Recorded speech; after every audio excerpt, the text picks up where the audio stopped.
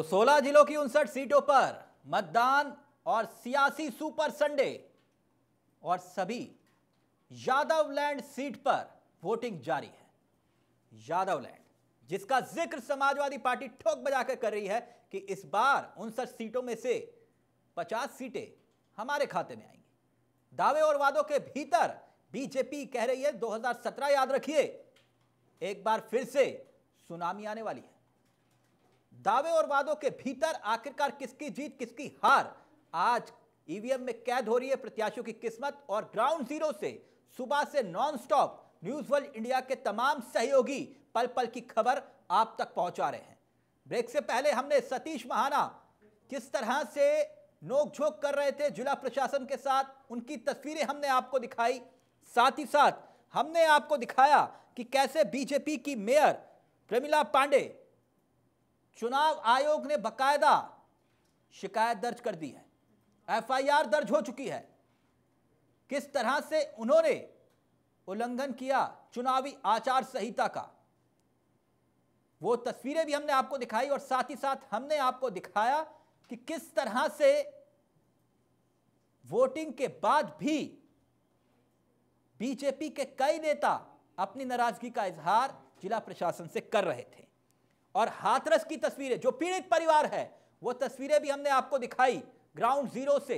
उनके बयान भी हम आपको सुनाएँगे, लेकिन पहले जरा जो राजनीतिक प्रतिक्रियाएँ आ रही हैं, वो आपको सुना रहे हैं और फिर सीधा रुख करेंगे अपने मेहमानों की तरफ़। हमारे साथ सुबह से नॉनस्टॉप मेहमान भी जुड़े हुए हैं और हमारे सहयोगी ग्राउंड ज़ीरो से लगातार पल पल की अपडेट आप तक पहुँचा रहे हैं। लेकिन पहले जरा राजनीतिक प्रतिक्रियाएँ जो आई हैं, वो ध्यान से सुनिए। विकास की गंगा बही, जिसके कारण ये चुनाव हमारे लिए बहुत आसान हो गया। लेकिन 2014 और 2017 में हमको अपराधियों से मुकाबला करना पड़ा था, खास करके बबीना विधानसभा में। क्योंकि बबीना विधानसभा वो विधानसभा है जो अपराध और आतंक का गढ़ रही है। और इसमें लोग ये मानते हैं कि चुनाव जीतना, चुनाव लड़ना एक प्रकार से बहुत ही आतंकग्रस्त एरिया में चुनाव लड़ना और जीतना होता है। इसलिए बबीना विधानसभा का चुनाव तो एक प्रकार से मैं स्वयं लड़ती हूँ। पिछली चुनावों में भी यहाँ पर हमको कठिनाई आई। यहाँ के जो प्रत्याशी हैं, उनका परिवार है, उनका भी एक आतंक का रिकॉर्ड रहा और इसके साथ ही साथ बबीना में जीत न होने पावे किसी की भी इसमें 2012 में बसपा के उम्मीदवार को के पी सिंह लोधी को जिस प्रकार से घेर करके और उसको जीत का सर्टिफिकेट ही नहीं मिलने दिया जा रहा था, वो स्थिति वहाँ रहती है। गरोठा की भी लगभग यही स्थिति रहती है। बाकी विधानसभाओं में उतनी कठिनाइयाँ नहीं आती। इसलिए मेरे लिए ये चुनाव एक बहुत बड़ी चुनौती रहती है। मैं इसको हमेशा चुनौती मानती हूँ। यद्यपि पुलिस का और प्रशासन का चुनाव आयोग की मर्यादाओं के अनुसार नियम और परंपराओं का वो पालन करते हैं लेकिन फिर भी मैं, हमेशा मानती हूँ कि बबीना का चुनाव तो मैं स्वयं लड़ती हूँ क्योंकि बबीना ही अपराध और आतंक के गढ़ का नाभिकीय केंद्र है। इसमें पाँच राज्यों के चुनाव चल रहे हैं। उसमें उत्तर प्रदेश में तीसरे चरण का मतदान प्रारंभ हो चुका है। मैं संदेशा दे, देना चाहती हूँ कि आइए, घरों से निकलिए। यही समय है सही सरकार चुनने का। अपने अमूल्य मत दे करके उचित और सही व्यक्ति चुनने का। मैं आग्रह करती हूँ कि अपने मत का प्रयोग करिए, निकलिए घरों से। एक मत आपके प्रदेश का भाग्य बदल सकता है और एक मत आपका यदि घर में रह गए और फिर कहीं पछताना पड़े तो अच्छा नहीं है, इसीलिए घरों से निकलिए, मतदान करिए। तो आखिरकार यूपी का रण तीसरा चरण जारी है और लगातार वोटिंग इस वक्त हो रही है और सियासी सुपर संडे मनाया जा रहा है। पहले मतदान, फिर खान पान और उसके बाद छुट्टी मनाइए। लेकिन पहले लोकतंत्र के इस महापर्व में वोट की आहुति ज़रूर दीजिए। सीधा रुक कर रहे हैं अपने मेहमानों की तरफ़। हमारे साथ इस वक्त जो मेहमान जुड़े हुए हैं उनसे आपका तारुफ करवा देते हैं। हमारे साथ जो मेहमान जुड़े हुए हैं दीपचंद जुड़े हुए हैं जो कि कांग्रेस का पक्ष रखेंगे साथ ही साथ अश्वनी शाही हमारे साथ जुड़ गए हैं जो कि बीजेपी के नेता हैं। दयाराम भार्गव हमारे साथ जुड़ गए हैं सोलदेव भारतीय समाज पार्टी से। और हमारे साथ निरंजन जी जुड़ चुके हैं जो कि राजनीतिक विश्लेषक है। आप सभी का बहुत बहुत स्वागत है। सबसे पहले अश्वनी शाही जी अभी सपा के नेता कह रहे थे कि ये यादव लैंड है। और उनसठ सीटों में से अधशतक हमारा यादव लैंड है। कुछ उम्मीद है?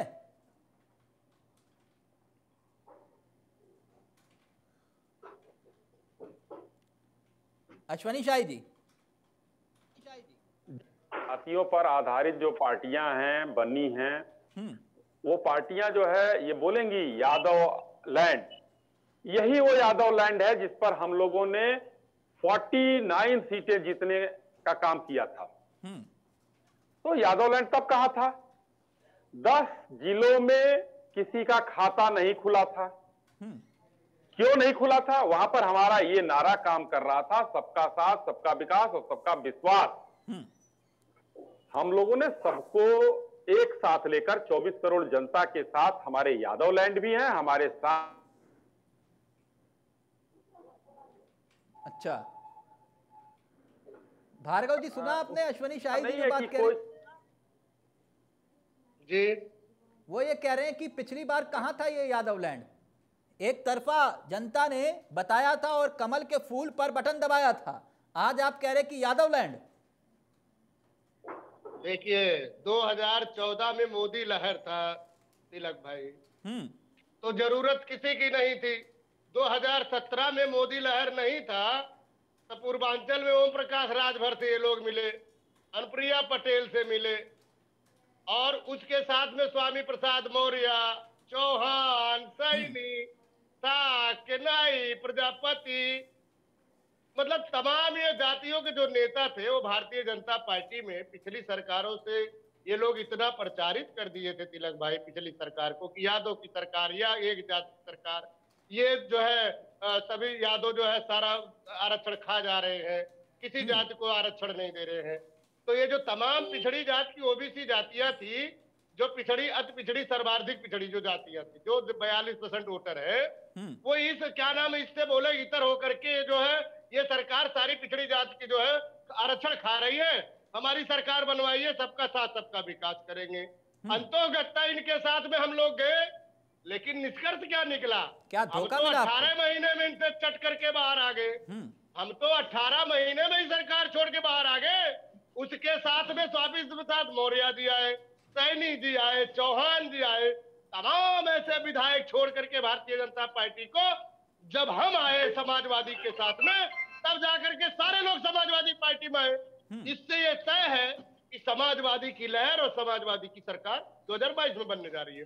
अब दूसरी बात अश्विनी भाई जी ने कहा अच्छा कोई बात नहीं क्या नाम भाई के पास एक, एक मेरे भार्गव जी भार्गव जी गुस्सा नहीं आराम से। आज देखो कितना अच्छा दिन है। संडे है वैसे भी और सुपर संडे है सियासत के लिहाज से। और बाहर धूप भी खिली है और तेज हवाएँ भी चल रही हैं। और ये हवाओं का रुख क्या है उसे भापने की कोशिश मैं कर रहा हूँ। बाकी ये बताओ कि वो ओवेसी फैक्टर काम किया कि नहीं?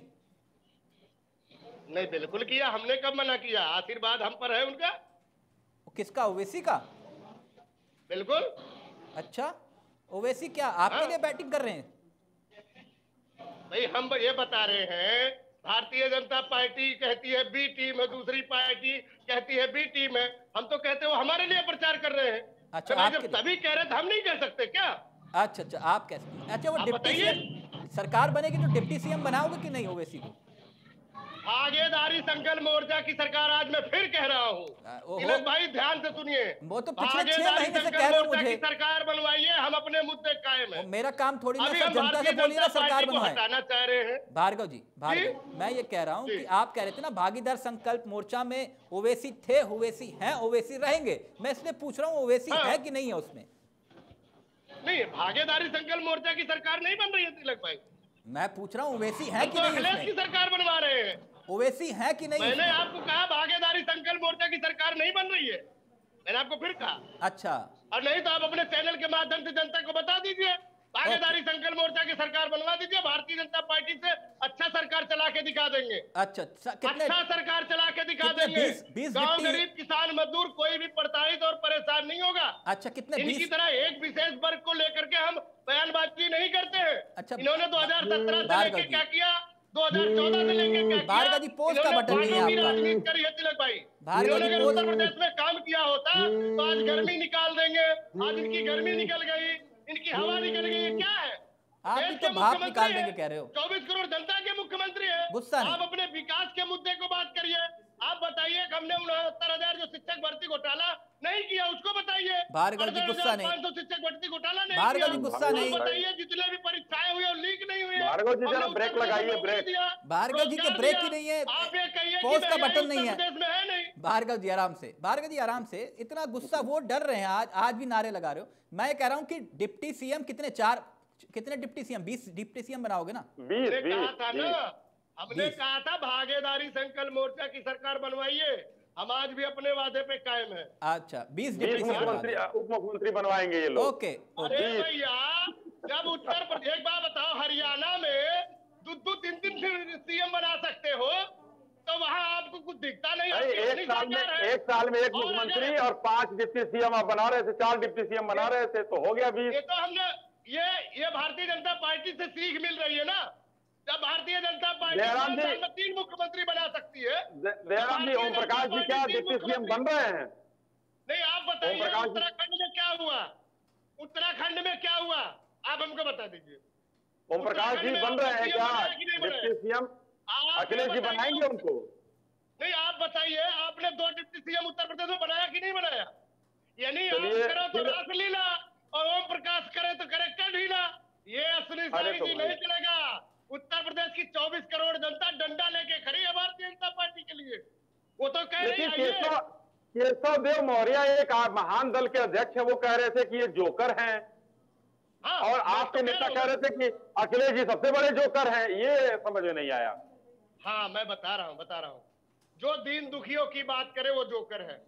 जो गरीबों अच्छा, की तो बात उठाए वो जोकर है। वो आपके मोर्चे के जो- सदस्य भी है महान दल। हाँ हाँ सुनिए भाई सुनिए सुनिए सुनिए। आप लोगों का ही जुमला हमारे पास आया है। आप लोगों ने पीछे क्या कहा था? याद करिए आपने कहा था दो करोड़ रोज़गार देंगे मिला। आपने कहा था पंद्रह देंगे मिला। आपने कहा था की काला बात धन कर रहे देंगे, हैं। मिला। आपने कहा था हम शिक्षा देंगे मिला। आपने कहा था अरे महान दल की हम बात कर रहे हैं भाई। आपने कहा था गैस हम सिलेंडर सस्ता देंगे मिला। मैं महान दल की हम बात कर रहे हैं। अश्विनी भाई मैं आपसे पूछ रहा हूँ। अरे भाई मैं आपसे पूछ रहा हूँ। और आपके दल में तो। आपके दल में आपके। घटक दल है। संजय निषाद जी उन्होंने कहा था भगवान राम जो है तथाकथित पुत्र है।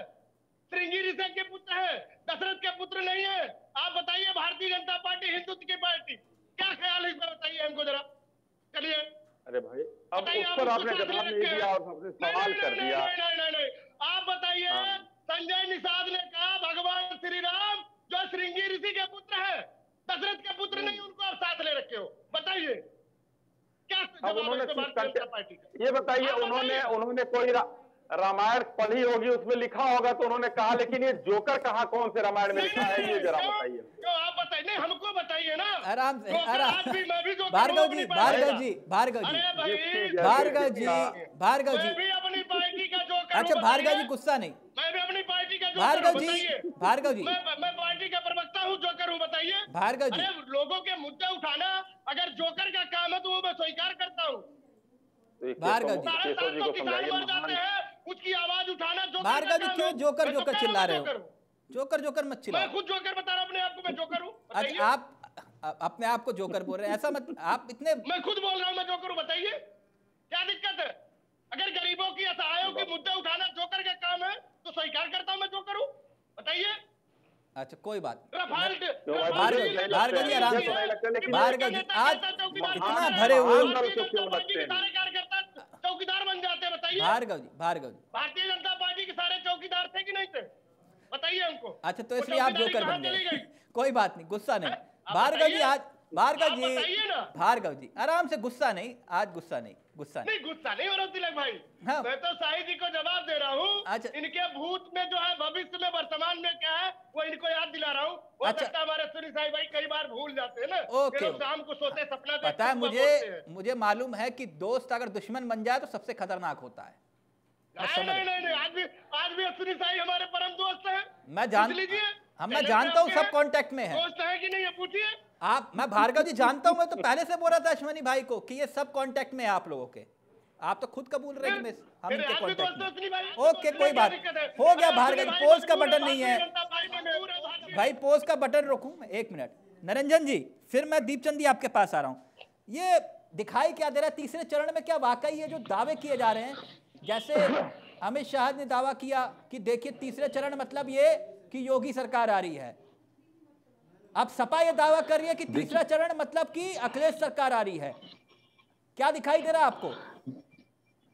देखिए तिलक जी सबसे पहले तो आपके चैनल के माध्यम से मैं सभी से निवेदन करूँगा उत्तर प्रदेश की जनता से कि आप शत प्रतिशत वोटिंग ज़रूर करें।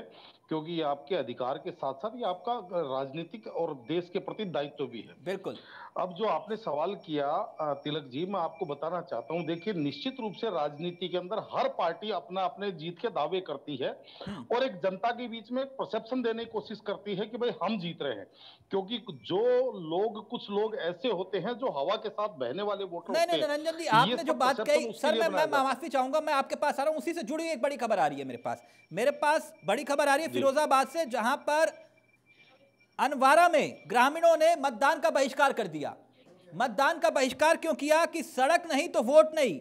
कई दिनों से धरने पर बैठे हुए थे और यह बूथ संख्या दो सौ तिरयालीस दो सौ चौवालीस दो सौ पैंतालीस बताई जा रही है और सुबह साढ़े नौ बजे तक एक भी वोट नहीं पड़ा बताया जा रहा है। एक भी वोट नहीं पड़ा यह बताया जा रहा है अभी इसकी आधिकारिक पुष्टि नहीं हुई है लेकिन जो ना ताली मत बजाइए। भार्गव जी ये ताली बजाने ना ना ना ना। ताली मत बजाइए। अरे भाई पंद्रह दिन में उत्तर प्रदेश के गड्ढे मुक्त थे तो वो सड़क क्यों नहीं भरी असली भाई जवाब दीजिए। मैं इसीलिए तो कह रहा हूँ भारतीय जनता अच्छा डीएम का बयान आया इस पर। भारतीय जनता पार्टी शांत हो जाइए तो मैं बता दूँ। शांत होइए तो मैं जवाब दे देता हूँ। आप ताली बजा ना रहे ना हैं। अभी देखिए मैं आधिकारिक पुष्टि नहीं कर रहा। क्योंकि डीएम ये कह रहे हैं मैं एक बात बताऊँ डीएम ये कह रहे हैं कि ऐसी कोई सूचना नहीं मिली है लेकिन जो खबरें आ रही हैं कि बूथ संख्या दो सौ तिरयालीस दो सौ चौवालीस दो सौ पैंतालीस यहाँ पर वोटिंग का बहिष्कार किया है लोगों ने। वोट नहीं रोड नहीं तो वोट नहीं। नरेंद्र जी अपनी बात कंप्लीट करिए सर। तो तिलक जी मैं ये कह रहा था कि हर एक पार्टी अपनी अपनी जीत का दावा निश्चित रूप से करती है और उनको करना भी चाहिए। इसमें कोई अतिशयोक्ति नहीं है। लेकिन जो मुझे आज सबसे बड़ी पीड़ा है वो ये है कि हम सत्तर साल बाद में भी आज हम जाति के आधार पर वोट देखते हैं आज हम धर्म के आधार पर वोट देखते हैं आज हम ध्रुवीकरण के आधार पर वोट देखते हैं आज हम इस चीज़ को नहीं देखते कि इस देश की जो जनता है और जो राजनीतिक पार्टियाँ हैं मैं इनको सभी को इसके अंदर शामिल करना चाहूँगा, जो मुद्दों के आधार पे बात नहीं करते। अभी जैसे आपने बताया कि रोड नहीं है, ये जो भी आपके, आपने जो न्यूज़ ब्रेक की है तिलक जी वास्तविकता जानते हैं क्या है कि जब जातियों के आधार पर ठेकेदारी नियुक्त हो जाएगी तो निश्चित रूप से देखिए काम के ऊपर कहीं पे भी कोई भी आदमी अपनी ज़िम्मेदारी नहीं निभाएगा ज़िम्मेदारी नहीं समझेगा। क्योंकि जब आदमी को यह लगेगा कि एक वर्ग एक जाति के वोट तो मुझे मिलने ही है तो फिर मुझे एक बात बताइए वो काम क्यों करेगा? तो ये जो विडंबना है ये मुझे सबसे ज़्यादा पीड़ादायक है क्योंकि हमारे संविधान निर्माताओं ने, हमारे नीति नियंताओं ने, ये जो हमें एक चुनाव की व्यवस्था करी थी, ये व्यवस्था केवल इसलिए करी थी कि पाँच साल बाद में हम उस व्यक्ति को देखेंगे कि इस व्यक्ति ने हमारे लिए क्या किया है और जो कोई अगर नया व्यक्ति चुनाव मैदान में है तो वो आपको क्या रोड मैप दे रहा है, उस आधार पे हम अपने प्रत्याशी का चुनाव करेंगे। लेकिन आज हो क्या रहा है? आज ये हो रहा है कि एक एक जाति की ठेकेदारी बन गई है कहीं पे धर्म की ठेकेदारी हो गई है और ये जो ध्रुवीकरण और जो ये वर्गीकरण है ना ये इस देश की सबसे बड़ी विडंबना है और इस देश की सबसे बड़ी मेरे हिसाब से बीमारी है। बात से जब तक ये ठीक नहीं होगी राजनीति ठीक नहीं हो सकती। नरेंद्र जी मैं आपकी बात से सौ फ़ीसदी सहमत हूँ। तभी तो जातिगत सम्मेलन किए जाते हैं। लेकिन मुझे एक बात बताइए ये भी तो सच्चाई है उत्तर प्रदेश की। कई लोग बोलते थे कि तुम गलत बोलते हो तिलक चावला। लेकिन ये भी तो हकीकत है। कि जाति के आधार पर ही उत्तर प्रदेश में सियासत होती है और होती थी, होती आ रही है। ये तो जाति प्रधान प्रदेश है। तिलक जी, निश्चित रूप से मैं आपकी बात से सहमत हूँ कि ये है, लेकिन मेरा कहने का तात्पर्य ये था कि ये नहीं होना चाहिए। आदमी को ये जागरूक होना चाहिए कि मुझे वोट किसने दिया है, मुझे मेरे क्षेत्र में किस व्यक्ति ने अच्छा कार्य किया है, मुझे उसको चुनना चाहिए। मेरे व्यक्ति, मेरे क्षेत्र में किसने खड़ंजे डलवाए, किसने हैंडपंप लगवाए, किसने पानी की व्यवस्था की, किसने रोड की व्यवस्था की, किसने सुरक्षा की व्यवस्था करी, किसने कानून व्यवस्था की कानून व्यवस्था के अंदर सुधार का कार्य किया। यानी कि कौन व्यक्ति आज तिलक जी हम एक कर्मचारी भी रखते हैं तो उसके काम और उसकी परफॉर्मेंस के आधार पे हम उसको अप, अपने यहाँ नियुक्त करते हैं। और दूसरी तरफ़ जब हम वोट देने जाते हैं हम अपने भविष्य का जिसको हम अपना भविष्य थाली में रख करके सौंप रहे हैं जिसको सजा के दे रहे हैं हम उसके बारे में बिल्कुल स्क्रूटनी नहीं करते। तो ये मैं कहना हूँ कि इस देश के मतदाता को इतना जागरूक होना चाहिए कि ये जो जो भी चाहे धर्म की हो चाहे जातियों की हो जो अच्छा, भी तो- राजनीति करने वाले हैं इनकी अच्छा राजनीति यादव जो दुकानें अच्छा हैं यादव लैंड इस तरह की बातें ना करूँ आप ये कह रहे हैं नहीं नहीं आप देखिए जो वर्तमान परिदृश्य है उसके अंदर आप बात कर रहे हैं मैं इस चीज़ को आपकी बात को गलत नहीं कह रहा कि सर। आप जा, आपके जात जाति के आधार मेरे- पे बात करने ना करने से कोई फ़र्क नहीं पड़ेगा। लेकिन हमारा दायित्व बनता है लोगों को जागरूक करने का ओके बिल्कुल सही कह रहे हैं आप दीपचंद आपके पास आना चाहूँगा ये अभी भार्गव जी के जो गठबंधन के साथी थे सपा वाले, वो कह रहे थे कि अब की बार 300 पार। अश्वनी शाही जी बता रहे थे 300 पार। आपका कुछ पार है कि नहीं? आदरणीय जी, चावला साहब, मैं आपको बताना चाहूँगा, मुझे लगता है कि दौर कोई भी हो, मुद्दा एक ही उत्तर प्रदेश में बेजार बेरोजगारी का। अगर उस पर सवाल पूछा जाए तो ये जवाब नहीं देते। पहली बात तो और जब चुनाव हारने की बात आती है तो ये बौखलाट करके इस तरह की इनके केंद्र के नेता और शीर्ष नेता इस तरह की बातें करते हैं। जैसे दिल्ली के मंत्री है जो कह रहे हैं कि मैं दाढ़ी नोच कर चुट्टिया बना दूँगा। मैडम इनकी बोधिरा जी वो कहती है कि इनके विधायक कि नमक ले लो, राशन ले लो, वोट हमें दे दो। मैं इनसे पूछना चाहूँगा भाई, ये आप अपने घर से दो, ये तो भारत सरकार का संसाधन है। दूसरी बात, स्मृति ईरानी जी अभी कानपुर में गई थी, वहाँ पर रैली नहीं हुई, उनको वहाँ पर भागना पड़ा। अमित शाह वहाँ से भाग कर गए वहाँ पर रैली नहीं हुई और पीएम मोदी खुद लिखमपुर में रैली नहीं कर पा रहे हैं। ये हालात है भारतीय जनता पार्टी की और कांग्रेस पार्टी एक ऐसी पार्टी है जो सबके साथ, सबका विकास, सबको साथ चल के चलने की बात करती है। और रही बात भार्गव जी और आपने भी बीजेपी के जो प्रवक्ता बैठा सुनी भाई तो मैं आपको पूछना चाहूँगा आपके, आपने कहा था कि सात साल में चौदह करोड़ नौकरी देंगे। क्या हुआ नौकरी का? आपने कहा था कि हम ये सड़कें बनाएँगे। क्या हुआ? विकास अगर करा है तो सिर्फ़ आपके अच्छा, दीपचंद। हम दो दीपचंद अच्छा मैं पूछ लेता हूँ अश्वनी जी मुस्कुरा भी रहे हैं। अच्छा अच्छा एक बात बताइए आपको पूरा यकीन है समाजवादी पार्टी की सरकार बनने जा रही है? चावला साहब मैं ये नहीं कहूँगा सरकार किसकी बन रही है किसकी नहीं बन रही। तो कांग्रेस पार्टी अपनी मौजूदगी में वहाँ से मजबूती से लड़ाई लड़ रही है और अब की बार उत्तर प्रदेश का युवा है आपको आपको क्या उम्मीद है किसकी सरकार बन रही है? आपको उम्मीद नहीं है कि कांग्रेस की सरकार बन रही है? आने वाला चुनाव देखना आप 2022 का 10 मार्च को कांग्रेस पार्टी के हित में रहेगा चुनाव। ओके। अश्वनी शाही जी आप मुस्कुरा क्यों रहे थे पहले आप ये बता दीजिए और फिर दीप जी की बातों का जवाब दे दीजिएगा। मैं मुस्कुरा इसलिए रहा था कि अभी बोलते बोलते हमारे राठौर साहब बात कांग्रेस की कर रहे थे लेकिन नारा हमारा दोहरा रहे थे इसके लिए इनको साधुवाद है और सबका साथ सबका विकास का नारा ये दे रहे थे। पार्टी आप भूल चुके हो। आप भूल चुके हो आपका काम है सिर्फ़ अपने लिए खुद का पेट भरना कांग- जनता के लिए आपने चलिए, चलिए, ठीक है।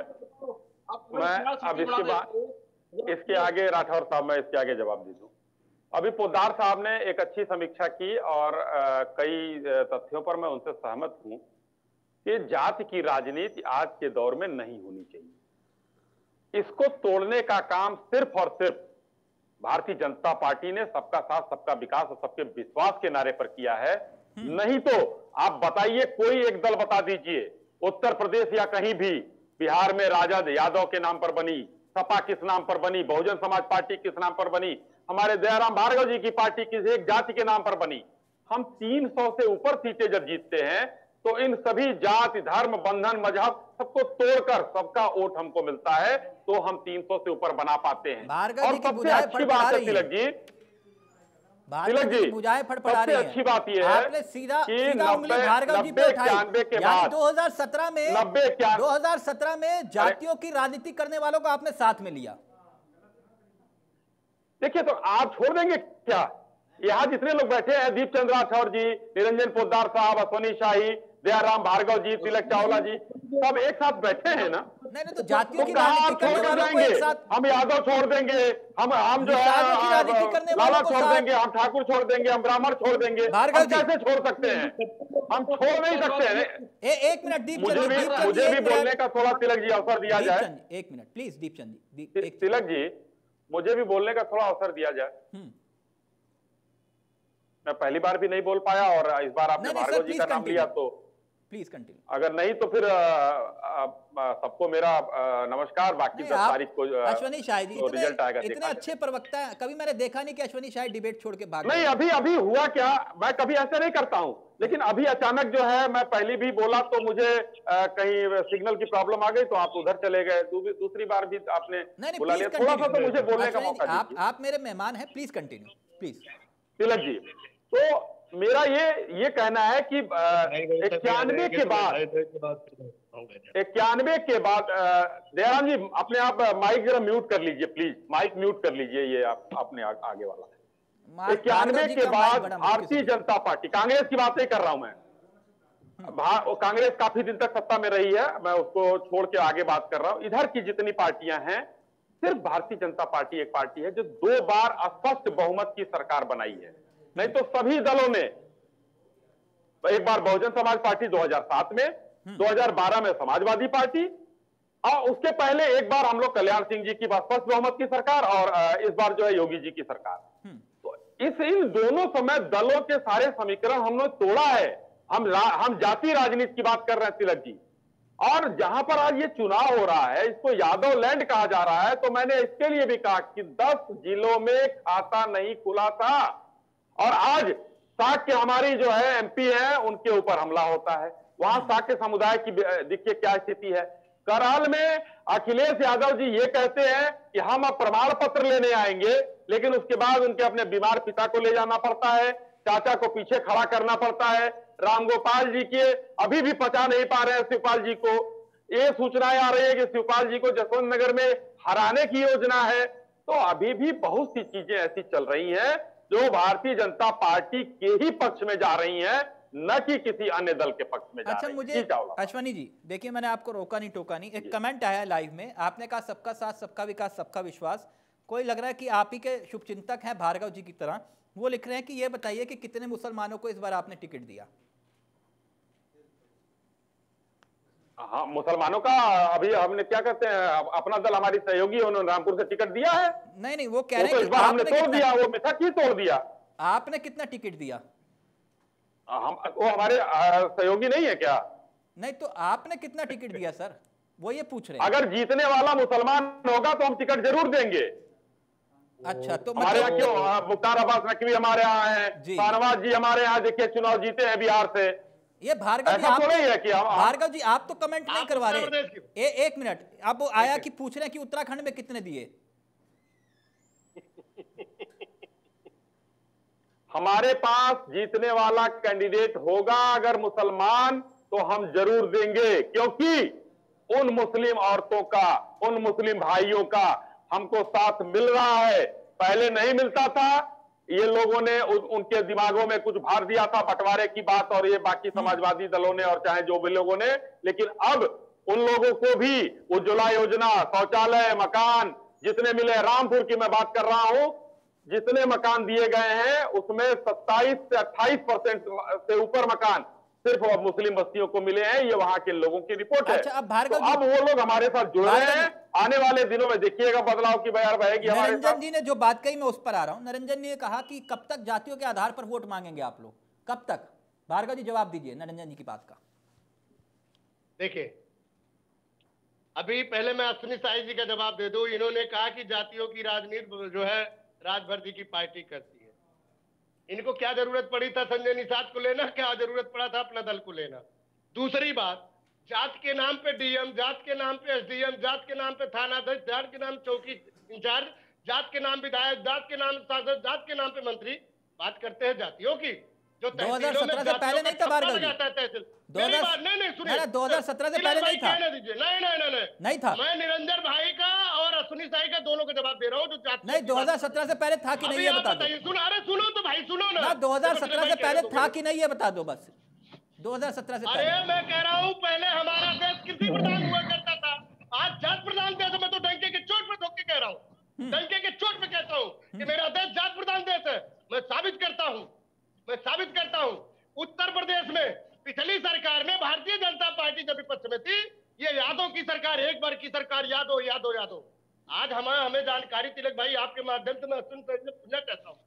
इस समय 20 डीएम और इक्कीस एस डीएम है, है उत्तर प्रदेश में एक जात के। ये किसकी सरकार चल रही है? उत्तर प्रदेश में बांदा ज़िले में कृषि प्रोफेसर की तेरह की भर्ती में एक जात की। यानी ठाकुर जात को उसमें भर्ती कर दिया जाता है। किसकी सरकार है? 2017 कौन सी जात की सरकार है? 2017 से पहले वाली लिस्ट है क्या? क्या तिलक भाई दूसरी बात सुने। दूसरी बात 2017 और से पहली वाली लिस्ट है क्या? जो पढ़ रहे हो आप उसमें 2017 से पहली वाली लिस्ट है क्या? 2017 से पहले मैं भारतीय जनता पार्टी के साथ में था क्या? अच्छा तो मतलब बीजेपी पर ही सवाल करेंगे? पुरानी सरकार पर बीजेपी क्या? आप बताइए मैं सरकार में? एक जवाब दे दूँ। मैंने कहा आपके। पक्ष का हो। मैं भारतीय नहीं अश्विनी भाई कहने दीजिए। आप कह लीजिएगा, मैं बीच में, हम, आप हमारे बड़े भाई है सम्मानीय है बड़े भाई है, मैं जानता हूँ आपकी मजबूरी है भारतीय जनता पार्टी का पक्ष रखना। लेकिन क्या करेंगे? जो दीन दुखियों, गरीबों की, असहायों की बात आप लोग छिपा रहे हैं, वो जनता देख रही है। जिस तरह उनहत्तर हज़ार शिक्षक भर्ती घोटाले में योगी जी ने पिछड़ों का हक अधिकार लूटा, आपने सवाल नहीं उठाया। अड़सठ हज़ार पाँच सौ शिक्षक भर्ती घोटाले में योगी सरकार ने पिछड़ों का लूटा। आपने आवाज़ नहीं उठाया। और बहत्तर हज़ार दो सौ चौतीस में शिक्षक भर्ती घोटाले में योगी सरकार ने जब पिछड़ों का लूटा तो हमारे निरंजन भाई हमारे शाही जी एक बार आवाज़ क्यों नहीं उठाए यानी प्रदेश का मुखिया ओबीसी का बिल किसने पेश किया संसद में? दयाराम भाई बोलना पड़ेगा।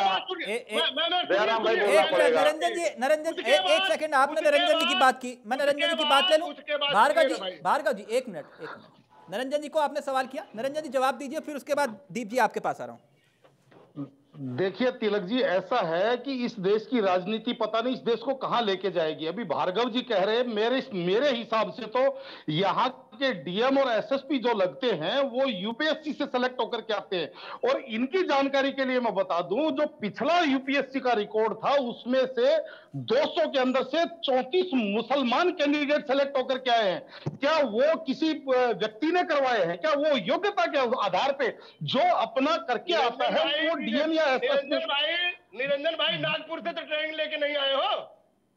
भाई साहब मेरी बात सुनिए मैं नागपुर से आया हूँ या कानपुर से आया आप व्यक्तिगत सुनिए आप आप व्यक्तिगत टिप्पणी करने के बजाय आप मुझे एक बात बताइए। नहीं नहीं। भार्गव जी सुनिए मेरी बात को। अगर अगर मैं बात करूँगा देश के बारे में अगर मैं बात करूँगा राष्ट्र के बारे में अगर मैं बात करूँगा समाज के बारे में अगर मैं बात करूँगा हर व्यक्ति के बारे में तो आप मुझे नागपुर से बता दीजिए कानपुर से बता दीजिए मुझे जयपुर से बता दीजिए। भैया ऐसा है ये आपकी राजनीतिक दुकानदारी है। आप इस राजनीतिक दुकानदारी के अंदर करते रहिए, लेकिन इस तू तड़ाक के अंदर पढ़ने का कोई फ़ायदा नहीं है मुझे। मेरी बात समझिए। मैं तो एक ही बात जानता हूँ, यहाँ पे अगर किसी भी जाति, किसी भी धर्म, एक तरफ़ आप संविधान की बात करते हैं, दूसरी तरफ़ आप जातियों की बात करते हैं, संविधान हर व्यक्ति को, हर जाति को, हर धर्म को समान अधिकार देता है। और आप यहाँ पे आकर के विशेष बातों की बात करते हैं कि विशेष जाति को ऐसे ऐसे मिलना चाहिए इसको ऐसे मिलना चाहिए आज भी आप आरक्षण की बात करते हैं संरक्षण की केवल आप संरक्षण की बात नहीं करते आप ऐसे नहीं होता भार्गव जी ये ये नहीं ये ये आपकी अपनी दूषित भार्गव जी, भार्गव जी। अपनी दूषित मानसिकता हो सकती है और आपने शुरू में ही अपने भार्गव आप को जोकर कहा है मैं माफ़ी चाहूँगा मैं जोकर के साथ डिबेट नहीं कर सकता आपने स्वयं अपने आप को जोकर कहा तो भाई साहब मुझे क्षमा कीजिए। मुझे क्षमा कीजिए। मुबारक हो जोकर मुझे मुझे नहीं। जी जी एक एक मिनट। भार्गव जी भार्गव जी भार्गव जी नहीं आप आप भार्गव साबित जी कर रहे हैं इस बात को। क्यों पहले आपने बोला था अब आप स्वयं साबित कर रहे हैं इस बात को। एक मिनट। बिल्कुल। अरे आप बताइए निरंजन भाई बांदा में तेरह कृषि प्रोफेसर की भर्ती में ग्यारह ठाकुरों की भर्ती होती है। तब आप कहाँ थे एक मिनट एक बड़ी खबर आ रही है। एक बड़ी खबर आ रही है। भार्गव जी प्लीज़ गुस्सा नहीं। भार्गव जी गुस्सा नहीं। नरेंद्र जी प्लीज़ आ रहा हूँ एक मिनट गुस्सा नहीं व्यक्तिगत नहीं। प्लीज़ एक बड़ी खबर आ रही है फरूखाबाद से जहाँ पर दरोगा और बीजेपी के प्रत्याशी के बीच में आपस में नोकझोंक हुई है और जमकर एक दूसरे को लताड़ा गया है और बकायदा सदर विधानसभा से बीजेपी के विधायक और बीजेपी के प्रत्याशी मेयर सुनील दत्त द्विवेदी के साथ यह बताया जा रहा है कि ये पूरा का पूरा घटना घटी है और दोनों के बीच में दरोगा और विधायक जो है, वो बताया जा रहा है कि जो बीजेपी का प्रत्याशी भी है, दोनों के बीच में नोकझोंक हुई है। और इससे पहले सतीश महाना वाली तस्वीरें भी हमने आपको दिखाई थी, जहाँ पर सीधे तौर पर सतीश महाना जिला प्रशासन के साथ नोकझोंक की तस्वीरें आई थी। और इसके बाद सीधी तस्वीरें हमने आपको मेयर प्रमिला पांडे की दिखाई थी, जो निर्वाचन आयोग और चुनावी आचार संहिता की धज्जियाँ उड़ाते हुए, फ़ोटो खिंचवाते हुए, फेसबुक पर पोस्ट डाला और बकायदा अब मुकदमा भी दर्ज हो चुका है उस पर। लेकिन अब एक और मामला सामने आ रहा है फरूखाबाद से, जहाँ पर दरोगा ने बीजेपी प्रत्याशी के साथ बताया जा रहा है कि दोनों के बीच में नोकझोंक हुई है। विवाद क्या है? मुद्दा क्या है? ये अभी साफ़ नहीं हो पाया, लेकिन इतना पता चला है। अगर तस्वीरें होंगी तो प्लीज़ प्ले करिएगा।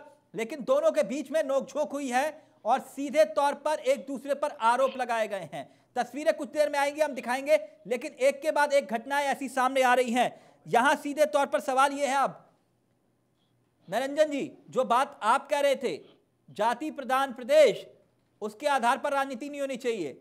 व्यक्तिगत टिप्पणी नहीं। लेकिन सवाल तो यही खड़ा हो रहा है ना कि आखिरकार जातियों के आधार पर वोट तो दोनों तरफ़ से मांगे जा रहे हैं, या फिर यह कहें कि हर तरफ़ से मांगे जा रहे हैं। क्या राष्ट्रीय लोकदल ने जाट मुहिम नहीं छेड़ी? या फिर आज यादव वोट बैंक की बात नहीं की जा रही? ये कौन नहीं कर रहा राजनीति? राजभर जी जिस पार्टी से है उस पार्टी का नाम ही जाति आधारित पार्टी है। देखिए तिलक जी, मैं इस बात की, आपके बात को जवाब दूँ। अभी भार्गव जी थोड़ा सा हाइपर हो गए थे। मैं इन, इन्होंने एक बात नहीं सुनी। इन्होंने मुझे कहा कि आप नागपुर से ट्रेनिंग लेकर के आए। मैंने जाति के साथ धर्म भी जोड़ा था कि कोई भी पार्टी धर्म के आधार पे, कोई भी पार्टी जाति के आधार पे, कोई भी पार्टी किसी वर्ग के आधार पे अगर राजनीति करती है तो वो इस देश के मूल संविधान की आत्मा का उल्लंघन करती है। क्योंकि हमारा देश का जो मूल संविधान है, उसके अंदर हर जाति जाति, हर वर्ग, हर धर्म, हर जो देश का जो नागरिक है, उसके समान अधिकार है। और अगर इसके बारे में कोई भी आदमी, कोई भी पार्टी, कोई भी व्यक्ति अगर यहाँ पे भेदभाव की बात करता है तो वो निश्चित रूप से संविधान का उल्लंघन करता है। मैं यहाँ पे कांग्रेस, भारतीय जनता पार्टी या अन्य किसी पार्टी का नाम नहीं ले रहा। मैं इसमें सभी राजनीतिक दलों को समाहित कर रहा हूँ। अब इसके अंदर अगर किसी को तकलीफ़ होती है तो वो उसको मुबारक। मुझे, अब अपने आप के जो मेरे जो उद्बोधन है, मेरे जो विचार है, वो बोलने से ना भार्गव जी रोक सकते, ना अश्वनी जी रोक सकते और ना दीप राठौर जी बोल रोक सकते। मैं अपने स्वतंत्र विचार रखने के लिए स्वतंत्र हूँ। ओके भार्गव जी आराम से पोस्ट का बटन दबा के। पोस्ट का बटन दबा लीजिएगा जब मैं बोलूँगा। लेकिन अपनी बात को मेरा मेरा सवाल हमारे निरंजन भाई केवल ये बता दे ये जो चश्मा इनके पास है दो चश्मा है। दो चश्मा इनके पास है। एक तो जब पिछड़ों के या जो कमजोरों लोगों पे सरकारें जब जाजाती करती हैं तो उस पे इन लोगों का चश्मा जो है वो ब्लैक वाला होता है। तो उसमें कुछ दिखाई गलत है वो भी। मैं उसकी भी आलोचना करता हूँ। अब मुझे कहने तो निरंजन भाई। मैंने आपका नाम तो नहीं लिया ना। जी जी मैंने चश्मे की बात करी। आप आपके पेट में दर्द ना हो बोलिए बोलिए। मैंने नाम नहीं लिया। दो चश्मे की बात मैंने किया। वो अगर आपके पास है तो मैं कह नहीं सकता। जो काला चश्मा है जब यही बादे में कृषि प्रोफेसर की भर्ती में तेरह में ग्यारह ठाकुर की भर्ती हो गई तो वो काला चश्मा आ गया। सफ़ेद चश्मा उतर गया भाई।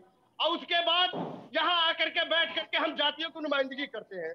आपको भी जानकारी होना चाहिए उत्तर प्रदेश में जात के नाम पे विधायक मंत्री और सांसद बनाए गए जात के नाम पे डीएम एसडीएम और सीओ थाना और चौकी इंचार्ज थाना अध्यक्ष बनाए गए फ़ोटो हटा ली थी ना सबकी। तो तहसीलदार बनाए गए फ़ोटो हटा ली थी फ़ोटो हटा ली थी।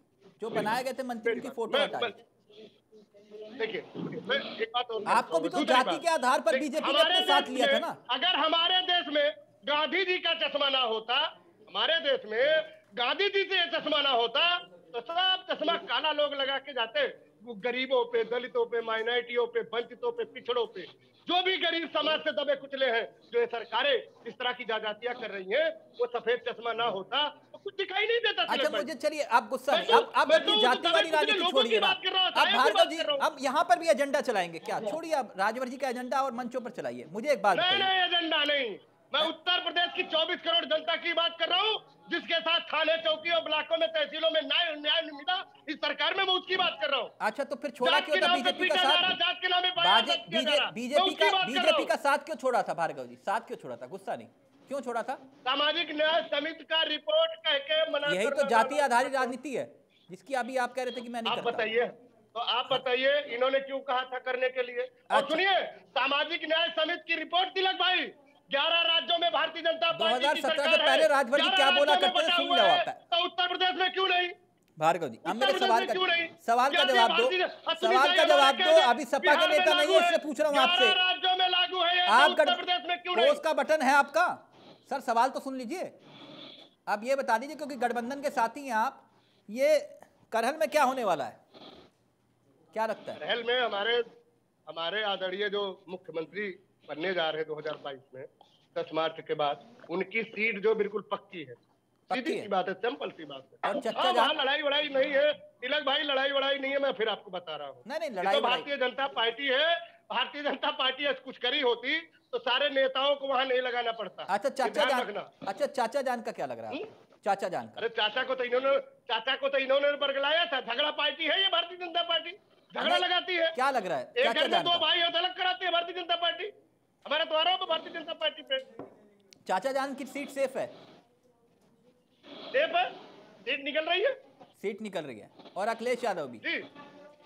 अश्वनी जी आप कह रहे थे कि अखिलेश यादव अखिलेश यादव इस बार हारने जा रहे हैं कंफर्म है।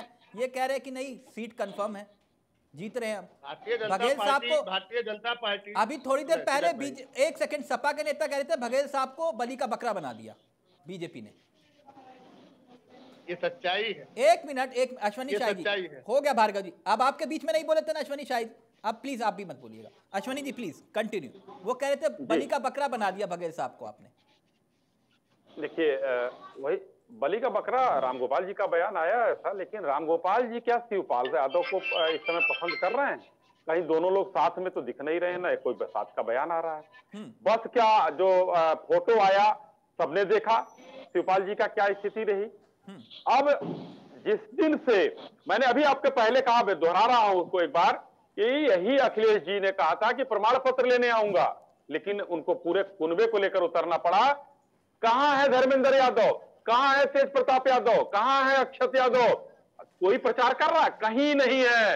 ये सब लोग किनारे हैं इस समय, और आज अखिलेश जी जो है, अकेले बलबूते पर जितना ले जाना चाहे, ले जाए। दूसरी बात अभी इतनी हुई है, एक लाइन, दो लाइन में संक्षेप से मैं कहना चाहूँगा। दयाराम जी अभी जो है इतनी अच्छे प्रवक्ता हैं सुभाषपा के लेकिन इनके नेता ही गड़बड़ हैं। उन्होंने एक इंटरव्यू में कहा था कि हमें मलाईदार विभाग नहीं मिला, इसलिए हमने इनको छोड़ दिया, सामाजिक न्याय का फार्मूला लागू नहीं किया, इसलिए इनको छोड़ दिया। तो मलाईदार विभाग नहीं मिला, इसलिए उनको छोड़ दिया। ये मुझे याद है और मैं नाम नहीं लूँगा एक चैनल का बड़ा ही प्रतिष्ठित चैनल है। पंकज जी उसके जो है पूरा नाम नहीं लूँगा। पंकज जी ने इंटरव्यू लिया था। तो कहने का मेरा मतलब है कि आप इस तरीके का नेता आपका बात करता है। आप यहाँ पर लड़ते उसके लिए तलवार दूसरी निकालते हैं। तो मलाईदार नहीं मिला भाजपा में तो वहाँ चले गए मलाई खाने। अब दूसरी स्थिति में बताना चाहता हूँ। देखिए, जो आप बार बार वादा की बात कर रहे हैं और एमपी एमएलए की बात कर रहे हैं समाजवादी पार्टी के एक बहुत ही वरिष्ठ मंत्री नाम कोट नहीं करूँगा। के साथ मैं एक बार मिला, उन्होंने कहा कि ये सरकार झूठ मूठ में जो है बदनाम है, कि ठाकुर है और ये है।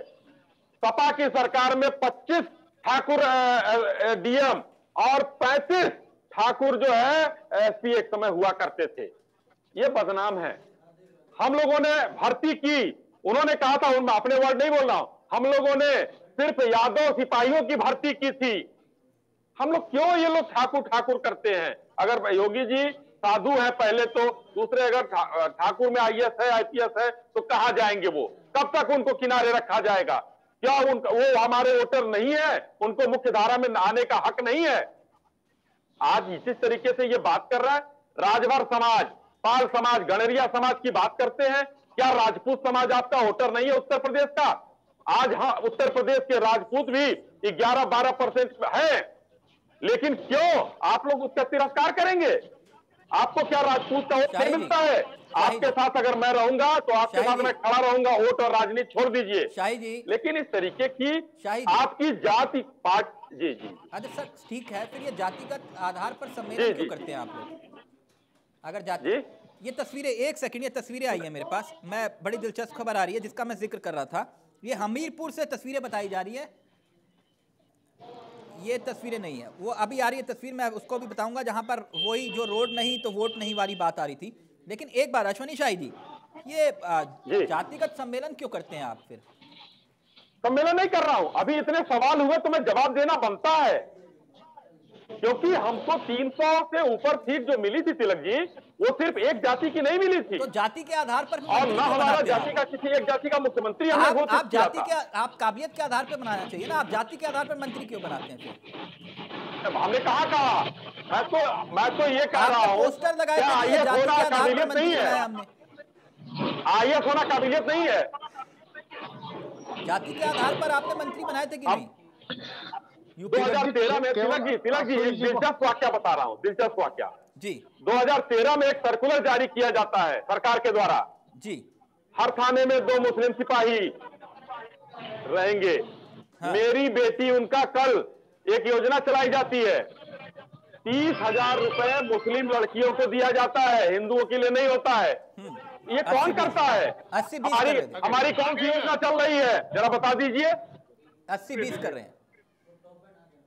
अस्सी बीस हाँ। अस्सी बीस करेंगे। चार सौ का अस्सी परसेंट कितना होता है उतना हमारे साथ है तीन सौ पच्चीस हमसे।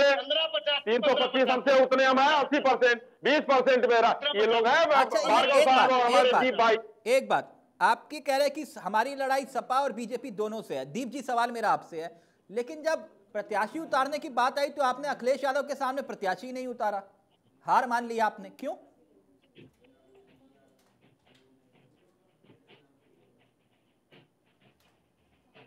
मैं आपको बताना चाहूँगा उत्तर प्रदेश में पहली बार कांग्रेस पार्टी ने 400 उम्मीदवार उतारे हैं। हेलो चावला जी आवाज़ आ रही है मेरी? नहीं नहीं वॉक ओवर क्यों दे दिया अखिलेश यादव को? डर लग रहा था। चावला जी आपको मैं बता रहा हूँ उत्तर प्रदेश में पहली बार 400 कैंडिडेट हमने उत्तर प्रदेश में उतारे हैं और मैंने दोनों प्रवक्ताओं को सुना है सब क्या मैच फिक्स है क्या आप लोगों का। कि रायबरेली अमेठी में नहीं उतारेंगे फिर? कर रहे हैं, लेकिन ना मैं हिंदू की बात कर रहा हूँ, ना मुसलमान की बात कर रहा हूँ। पर जब रोज़गार निवाले पे कोई बात नहीं कर रहा। आज बीजेपी वाले और ये भाई बैठे मेरे, दयाराम, इनसे अगर मैं बात करूँ, कि मैं इनसे पूछा चाहूँगा, जब आप उस बीजेपी में थे, जब तो आपको बीजेपी अच्छी लग रही थी। आज आप एसपी में तो आप एसपी गुणगान गा रहे हो। मैं आपको पूछा चाहूँगा, पाँच साल आप भी तो उसके अंदर थे बीजेपी में तो तेईस करोड़ लोग गरीबी रेखा के नीचे चले गए। उसके अच्छा, ऊपर क्या अखिलेश जवाब यादव जीत जाएँगे? एस पी एसपी बघेल के सामने चुनाव जीत जाएँगे। दीप जी मैं पूछ लूँगा बघेल साहब से इतना गुस्सा मत तो आप सभी वो शाही जी भी बघेल माफ़ करिए भार्गव जी पे गुस्सा है आप भी भार्गव जी पे गुस्सा है। लेकिन मुझे एक बात बताइए दीप जी आपको लग रहा है अखिलेश यादव जीत जाएँगे? चावला जी अखिलेश जी यादव जीते या नहीं हारे से हमें मतलब नहीं हमें इतना तो फिर मतलब प्रत्याशी क्यों नहीं उतारा? अगर आपको मतलब नहीं है तो अपना प्रत्याशी क्यों नहीं उतारा आपने। अगर आपको मतलब नहीं है तो अपना प्रत्याशी क्यों नहीं उतारा आपने? दूसरी पार्टी के बारे में क्यों बोले? आपको अगर मतलब नहीं है तो आपने अपना प्रत्याशी क्यों नहीं उतारा?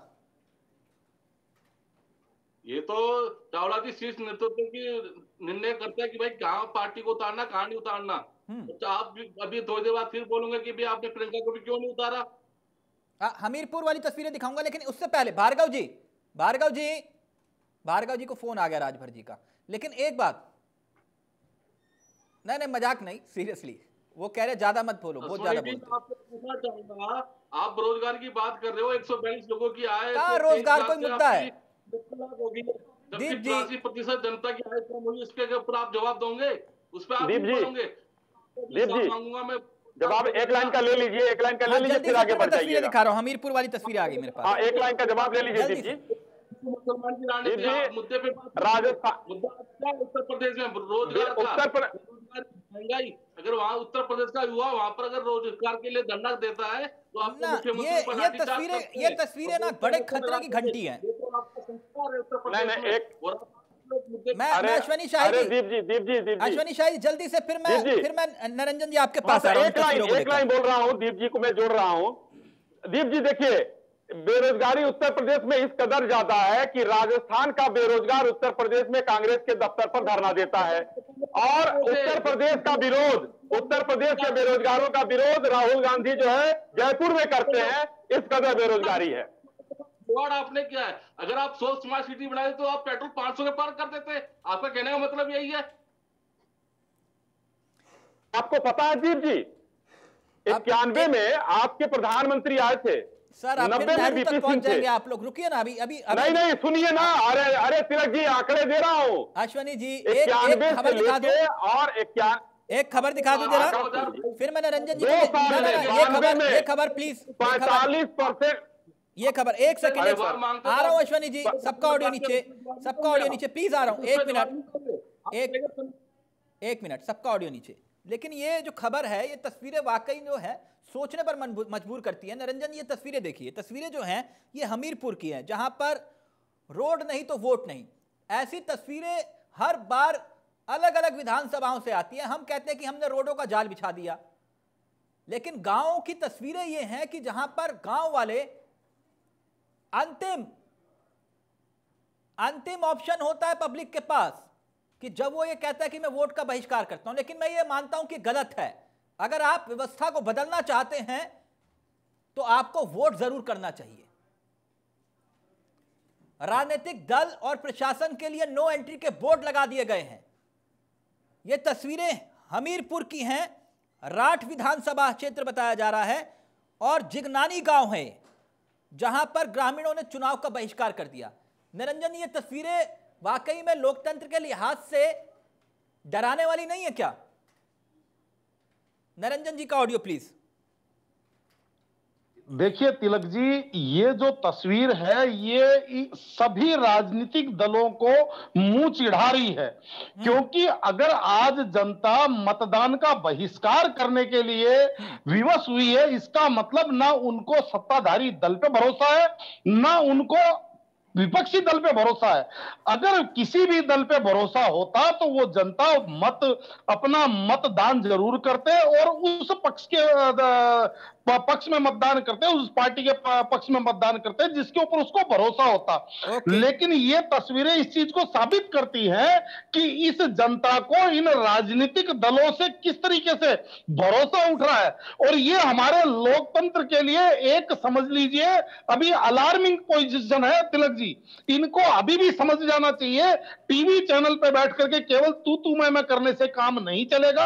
हाँ। धर, धरातल पे और धरा पे काम करना पड़ेगा। नहीं बिल्कुल सही कह रहे हैं आप लेकिन यहाँ इस वक्त मेरे साथ मेरे सहयोगी जो है अब्दुल सिद्दीकी जुड़ गए हमीरपुर से। अब्दुल क्या है पूरा मामला? जी मैं आपको बता दूँ ये पूरा मामला राज विधानसभा क्षेत्र के जिगनी गाँव का है जहाँ ग्रामीणों ने बहिष्कार किया है। वो उनका कहना है कि ग्रा- ग्रा- ग्रामीणों ने रोड नहीं तो वोट नहीं का बैनर लगाकर गाँव के बाहर काले झंडे दिखाए हैं। उन्होंने चुनाव का पूर्ण रूप से बहिष्कार किया। गैरतलब है कि पिछले कई दिनों से ग्रामीण इस बात का संकेत दे रहे थे लेकिन कोई भी उनकी मूलभूत हाँ। सुविधाओं के बारे में ध्यान नहीं दे रहा था। जी। और आज उनका आज उन्होंने आज क्या प्रशासन की तरफ़ से इनको मान मनोबल किया जा रहा है? जी अभी तक उनका प्रशासन की तरफ़ से कोई बात नहीं हो पाई। अभी तक वहाँ पे आपको ये भी बताना चाहता हूँ वहाँ पे अभी सुबह सात बजे से अभी एक बजे तक कोई भी एक भी वोट नहीं पड़ा हुआ है। सुबह सात बजे से एक बजे तक कोई वोट नहीं पड़ा? जी मैं आपको ये बता दूँ कि एक भी वोट नहीं पड़ा है। प्रशासन के मानने कहने पर भी वहाँ पे वो लोग मान नहीं रहे हैं। गाँव वालों का कहना है कि रोड नहीं तो वोट नहीं। ये अश्वनी शाही जी समझ रहे हैं आप? कह रहे हैं कि सुबह सात बजे से एक बजे तक एक वोट भी नहीं पड़ा गाँव में। जी जी तिलक जी, ये बहुत ही निंदनीय चीज़ है और मैं कह रहा हूँ चाहे भारतीय जनता पार्टी का विधायक वहाँ हो या किसी विपक्ष के दल का हो, उसके लिए शर्मनाक बात है और सच्चाई है कि जो ग्रामीणों ने विरोध किया है, ये नहीं होना चाहिए। इसकी मैं निंदा करता हूँ और दूसरी बात मैं कहना चाहता हूँ, ग्रामीण भी वहाँ हैं। देखिए, कम से कम शासन प्रशासन या राजनीतिक दलों को जो लोग भी वहाँ हैं आजकल चुनाव आयोग ने नोटा का भी एक बटन दे रखा है। तो कुछ गाँव वाले आजकल, आप लोग चूँकि कैमरा सभी उसके लेके जाते हैं तो उनको भी अपनी चीज़ पहुंचानी होती है तो उन्होंने ये किया है, बैनर लगाया है। मैं इनके विरोध में नहीं हूँ, लेकिन नोटा का वोट देने जाना चाहिए, नोटा का बटन दबा देते तो भी ये लगता कि हाँ इस गाँव में 2000 वोट है 500 वोट है, नोटा पर आया। वो भी एक तरीका आज के समय में है, लोगों को मिल रहा है। लेकिन जो अगर आज के दौर में इतना विकास हो रहा है उसके बावजूद भी अगर अपने विधायक ने रोड नहीं बनवाया वहाँ के पार्षद ने रोड नहीं बनवाया वहाँ के जो है वहाँ के प्रशासन ने रोड नहीं बनवाया तो ये निंदनीय चीज़ है। इसकी मैं निंदा करता अच्छा हूँ। प्रशासन ने रोड नहीं बननी बनाया इसलिए वोट नहीं ओके वो चुन तो सरकार को रहे हैं ना अपने विधायक को चुन रहे हैं। मैं इसलिए कह रहा हूँ क्या ये आप लोगों को अगर विधायक ने नहीं बनवाया है तो उसका विरोध उनका हक है। वो अच्छा कर रहा है नरेंद्र निरंजन जी अपनी बात रखिए फिर भार्गव जी आपके पास आ रहा हूँ। निरंजन जी जी। क्या कहना चाह रहे हैं आप? जी तिलक जी। मैं ये कहना चाह रहा हूँ, जो अश्विनी जी अभी कह रहे थे कि इसके अंदर एक नोटा का भी बटन है। देखिए, ऐसा है कि नोटा का बटन अभी दंत विहीन है। उसका अभी मेरे हिसाब से ये जो इन्होंने डेमोस्ट्रेशन किया है या प्रदर्शन किया है, ये एक तरह का शासन, प्रशासन और सरकार और राजनीतिक दलों का ध्यान आकर्षण करने के लिए इनको किया है। अब आपके चैनल के माध्यम से मैं उनसे अपील करता हूँ कि उनका जो मकसद था वो पूरा हो गया। अब जाकर के वो मतदान ज़रूर करें। लेकिन जो अश्वनी जी, जो नोटा की बात कर रहे थे, अश्वनी जी, अगर आप सत्ता में हैं या सत्ता में फिर से दोबारा से यूपी में और केंद्र में तो आप हैं ही हैं तो इस नोटा को प्रभावशाली बनाइए। अगर आप ये चाहते हैं कि शत प्रतिशत वोट हो, जनता की उदासीनता कम हो तो नोटा को प्रभावशाली बनाइए। प्रभावशाली इस तरीके से कि अगर नोटा पे वोट ज़्यादा मिलेंगे तो उस कॉन्स्टिट्युएंसी का कोई भी प्रत्याशी चुनाव जीता हुआ नहीं माना जाएगा। उस कॉन्स्टिट्युएंसी के अंदर और उन जितने भी प्रत्याशी उसके अंदर खड़े हुए हैं, उनको दोबारा से वहाँ चुनाव लड़ने की अनुमति ना मिले, तब जाकर के ये नोटा का बटन जो है प्रभावशाली होगा। तब जन, जनता के द्वारा नकारे। हुए व्यक्ति। प्लीज़ तस्वीरें दोबारा से प्ले करिए। मैं तस्वीरें बार बार इसलिए दिखा रहा हूँ भार्गव जी ये मसला सत्ता पक्ष और विपक्ष का नहीं है। जनता जनार्दन है जनता भगवान है आपकी। अब वही नाराज़ हो जाए तो सोचिए ना। इन ये तस्वीरें आप लोगों को विचलित करती है क्या भार्गव जी कि नहीं? बिल्कुल विचलित करती है तिलक भाई देखो। हमने कहा ना, भारतीय जनता पार्टी जुमला पार्टी झूठ बोलने माहिर है। विकास अगर किया होता तो आज ये जो गाँव के लोग, ग्रामीण लोग जो है धरना प्रदर्शन बोर्ड लगा रहे आज नहीं करते। हालाँकि उनका मतदान का अधिकार है, करना चाहिए, ये मैं अपील करता हूँ। लेकिन कहीं ना कहीं जो भारतीय जनता पार्टी ढिढोरा पीटती है, जितना पैसा इन्होंने प्रचार पे खर्च किया, इतना पैसा अगर विकास पे किया होता तो शायद ये ग्रामीण आज बोर्ड बैनर नहीं लगाते। ये मेरा अपना मानना, व्यक्तित्व, अपना प्रथम विचार बता रहा हूँ। क्योंकि मैं गाँव में जब जाता हूँ तिलक भाई, आज भी गाँव की सड़कें वही लबालब कीचड़ से भरा हुआ है। ये हमारे अश्विनी साई भाई खूब जानते हैं। मैं तो पूर्वांचल का खाटी जो है, पूर्वांचल का हूँ। मैं तो खाटी अयोध्या वासी हूँ भाई। मैं तो देहाती हूँ। मैं गाँव की हालात से बहुत बढ़िया वाकिफ हूँ कि गाँव में किस तरह के हालात हैं। मैं आपके चैनल पर तिलक भाई कितनी बार इस चीज़ को मुद्दा उठाया हूँ कि सरकार विकास के नाम पे केवल हमें झुंझुना दिखाती है।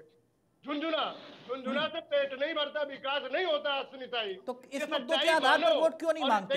अगर आपको लगता है कि ये मुद्दे हावी हैं तो इस मुद्दों के जात के आधार पर वोट मांगना छोड़ दो ना।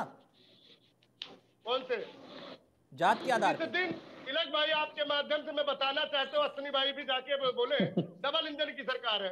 जिस दिन तहसीलों में जातियों के नाम पे ठप्पा लगाना बंद कर दोगे उस दिन से दयाराम भार्गव की पार्टी जात का नाम लेना बंद कर देगी। करवाइए आप। तहसीलों में जातियों का ठप्पा लगाना बंद करवा दीजिए। हम इस काम को करना बंद अच्छा, तो इसलिए जाति के आधार पर वोट मांगोगे। पे मतलब विकास के मतलब बिजली पानी सड़क शिक्षा के नाम पर वोट नहीं मांगोगे जात के आधार पर वोट मांगोगे सिर्फ़। सिर्फ़ जात के आधार पर वोट मांगोगे। सिर्फ़ जात के आधार पर वोट मांगोगे। बिल्कुल जात के मैंने कहा जात के नाम पे डीएम जात के नाम में एसडीएम जात के नाम पे सांसद जात के नाम पे मंत्री तो क्यों ना जातियों के नाम पे vote okay okay. Deep ji Deep ji जवाब दीजिए। दीप जी वो कह रहे हैं कि जाति के आधार पर वोट मांगूँगा। मांगते थे मांगते हैं और मांगते रहेंगे। दीप जी। जात और पात के नाम पर ये मुसलमान एसपी और बीजेपी करती है मैं आपको स्पष्ट बता दूँ उत्तर प्रदेश में महँगाई की मोदी मार है। केवल हेडलाइंस और इवेंटमेंट योगी की सरकार है। अगर ये वहाँ काम करा होता तो आज ये जो आपकी टीवी पे स्क्रीन चल रहा होता ये हम नहीं देखते।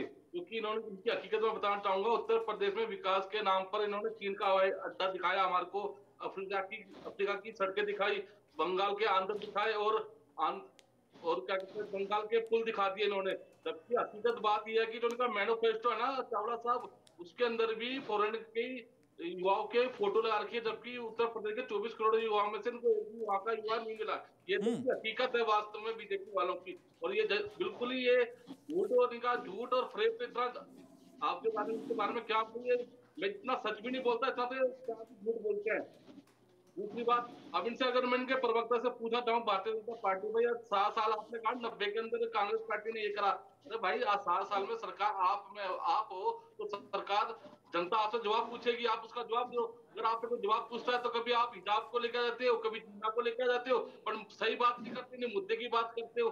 कांग्रेस पार्टी है तो पाँच साल के निरंजन जी, आप हमारी बात सुन लिए होते निरंजन भाई। तो ये बात ना करते मैं कहना क्या चाह रहा था और आप कह क्या गए? स्क्रीन पर लीजिए सड़क से लेकर कोई लड़ाई लड़ रहा है वो उत्तर प्रदेश में कांग्रेस पार्टी लड़ाई लड़ रही है। अच्छा दीप जी। निरंजन भाई जो मैं कहना चाह रहा था आप अगर सुनते अगर उस चीज़ को तो आप ये ना कहते कि और तिलक जी ने भी कहा नेहरू जी को लाइए। मैं नेहरू जी को नहीं ला रहा हूँ। मैं इक्यानवे की बात कर रहा हूँ। अभी डीजल पेट्रोल की बात हो रही थी। आप सुनिए फिर बीच में बोले नहीं सुनेंगे। फिर जो आप कहना चाह रहे हो बीच में दब जाएगा। नहीं आप मुझे दूसरे चैनल पर जाना है। मुझे अगर इजाज़त हो तिलक जी तो मैं निकल सकता हूँ दीप जी एक एक करके अपनी बात रखिए ना। दीप जी, दीप जी। मुद्दा उत्तर प्रदेश में क्या ओके, दीप जी। रोज़गार। आप खोलो ना आप दीप जी एक मिनट दीप जी। दीप जी आपकी बात आ गई ना? एक एक करके एक एक। बोलिए अश्वनी जी।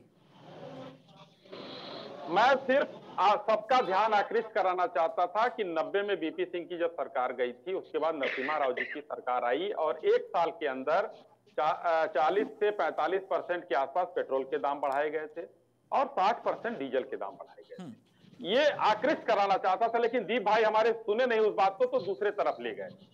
देखिए ये मैं कह रहा हूँ कि हर चुनाव में हिंदुस्तान में जब से आज़ाद हुआ देश और चुनाव हो रहा है महँगाई मुद्दा रहता है दीप भाई और रहेगा क्योंकि हम अरे सुन लीजिए अरे सुन लीजिए सुन लीजिए मैं जाना मुझे जाना है सुन लीजिए और नहीं तो दीप जी एक मिनट दीप जी दीप जी मैं सवाल कर लूँगा दीप जी गुस्सा नहीं गुस्सा नहीं।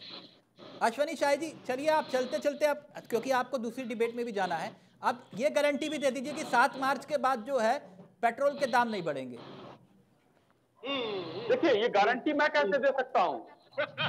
ये ये ये गारंटी मैं कैसे दे सकता हूँ? आप नहीं दे सकते। ठीक है आपको कौन तय करता है? नहीं नहीं। अरे फिर- अरे जवाब तो फिर फिर दावला साहब आज तारीख को ही महँगाई बढ़ा देंगे। पेट्रोल सौ से कर डेढ़ सौ सर एक मिनट रुक जाइए ना। रुक जाइए रुक जाइए। ये फिर कौन तय कर रहा है जो पिछले दो महीने से पेट्रोल के दाम नहीं बढ़े? ये कंपनियाँ तय करती हैं। जब बढ़ाना होगा उनको बढ़ाएँगी। सर पिछले दो महीने से कच्चे कच्चे कच्चे तेल के दाम बढ़ रहे हैं सर।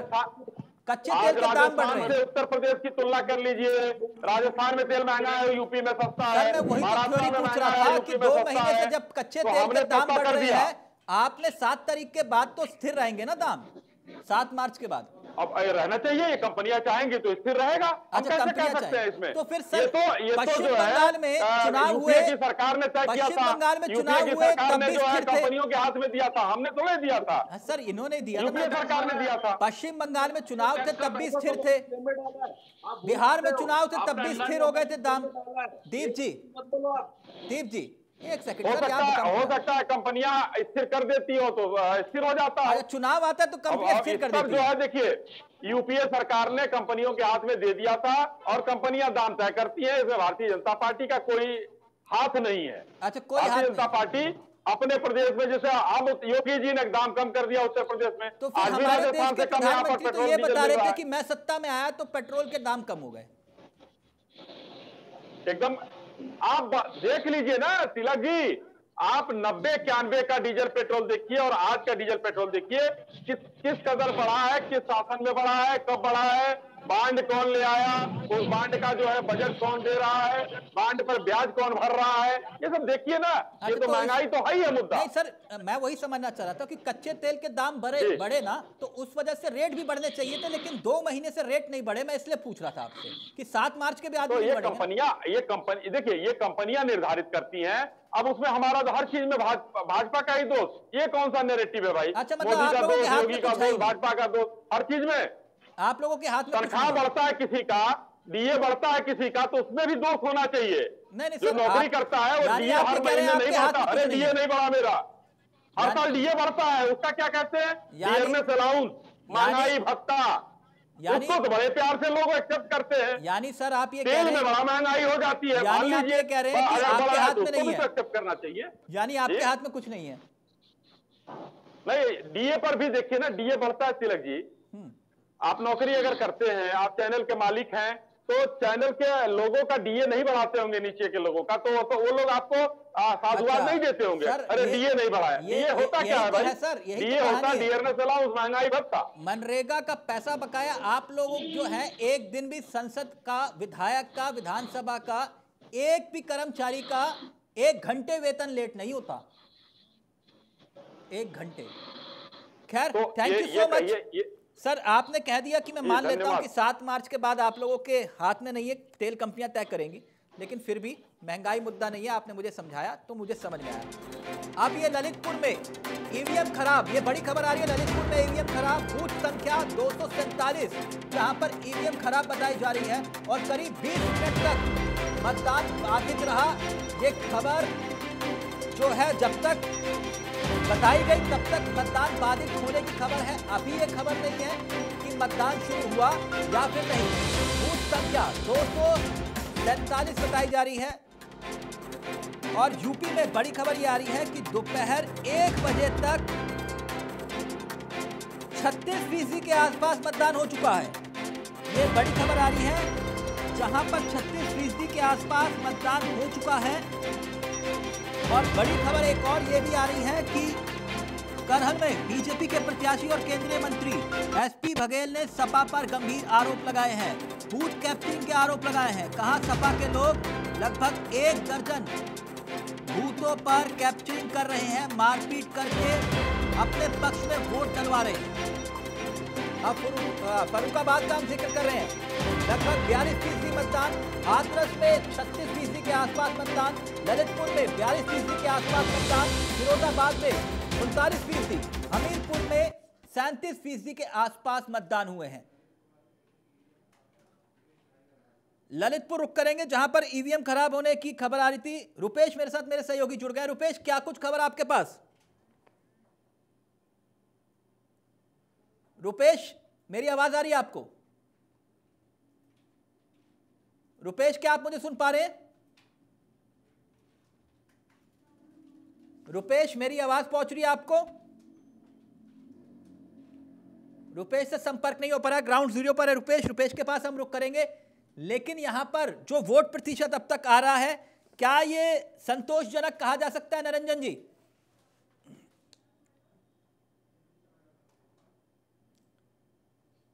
प्लीज़ निरंजन जी का ऑडियो उठाइए।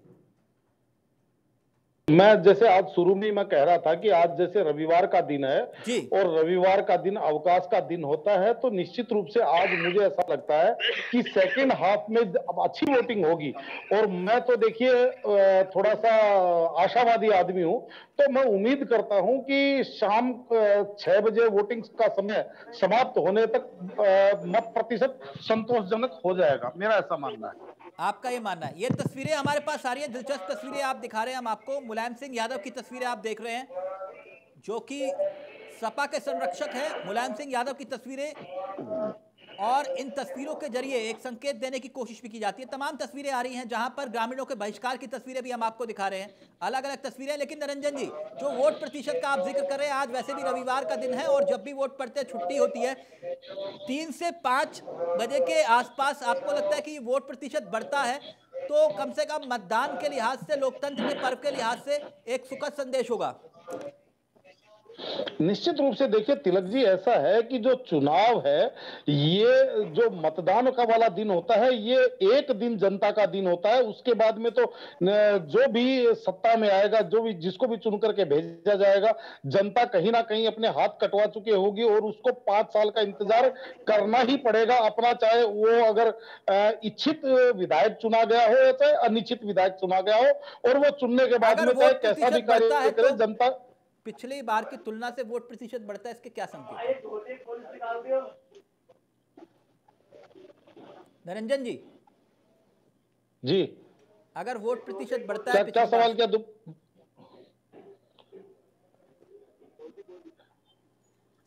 निरंजन जी। मेरे को थोड़ी आवाज़ कट करके आ रही है। मैं पूछ रहा हूँ अगर वोट प्रतिशत बढ़ता है तो इसके क्या संकेत हैं? क्योंकि पिछली बार हमने देखा था 2017 2019 में हालात ये थे कि जो वोट डाल के आ रहा था वो बता रहा था कि किसने किसको वोट डाला है। लेकिन आज भाई है मुझे जाना है। मैं भार्गव जी भाई। भार्गव जी।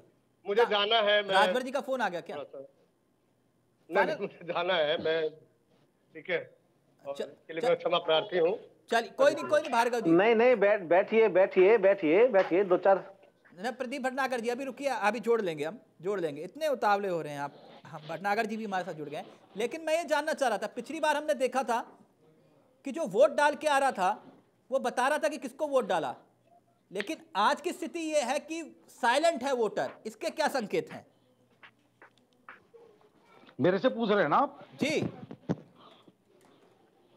तिलक जी सवाल मेरे से कर रहे हैं ना? बिल्कुल निरंजन जी आप ही से सवाल है मेरा। हेलो? निरंजन जी हाँ मेरे से है ना सवाल? जी सर लिखित दूँ क्या? हाँ हाँ ठीक है। तिलक जी दरअसल क्या है कि पिछली बार चुनाव के अंदर जो एक लोगों के अंदर जो उत्साह था इस बार देखिए मेरा ऐसा मानना है कि इस बार सीधा सीधा पिछला पिछली बार जो चुनाव थे वो त्रिकोणीय चुनाव थे।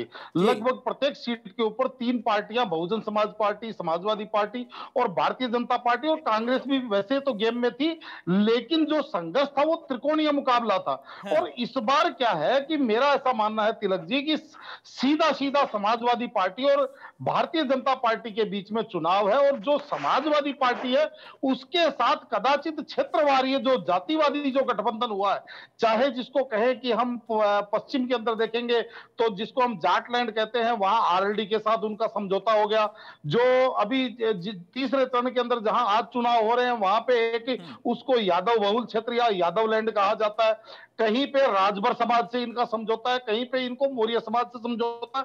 और कदाचित ये सारी की सारी जो जातियाँ हैं, ये वर्ग है, एक मुखर समाज है जो खुल करके बोलता है और भारतीय जनता पार्टी का जो वोटर है, वो ऐसा वोटर है तिलक जी, जो निर्दलीय को भी नाराज़ करके नहीं भेजता। अगर निर्दलीय भी उसके घर पे जाता है कि वोट हमें देना तो वो उसको खुश करके भेजता है कि हाँ हाँ भैया, वोट हम आप ही को देंगे। लेकिन जब वो ईवीएम पे जाता है, जब वो वोट डालने जाता है तो उसका वोट उस एक निश्चित जगह ही जाता है। तो इसलिए इस बार जो भारतीय जनता पार्टी का जो वोटर है वो कहीं ना कहीं साइलेंट है और जिस तरीके से जो इस बार जो इस बार का जो चाहे हम तीनों चरणों का चुनाव देखें इसमें दूसरे चरण में कुछ मुखरता दिखाई दे रही थी लेकिन बाकी जो प्रथम चरण और द्वितीय चरण तृतीय चरण का जो हम चुनाव देखें अच्छा ये इसके अंदर आप ज़रूर खतरे की घंटी किसके लिए नहीं खत देखिए, तिलक जी, खतरे की घंटी जो एक साइलेंट वोटर होता है, मेरा ऐसा मानना है कि वो साइलेंट वोटर ज़्यादातर अपोजिशन के लिए खतरे की घंटी होता है।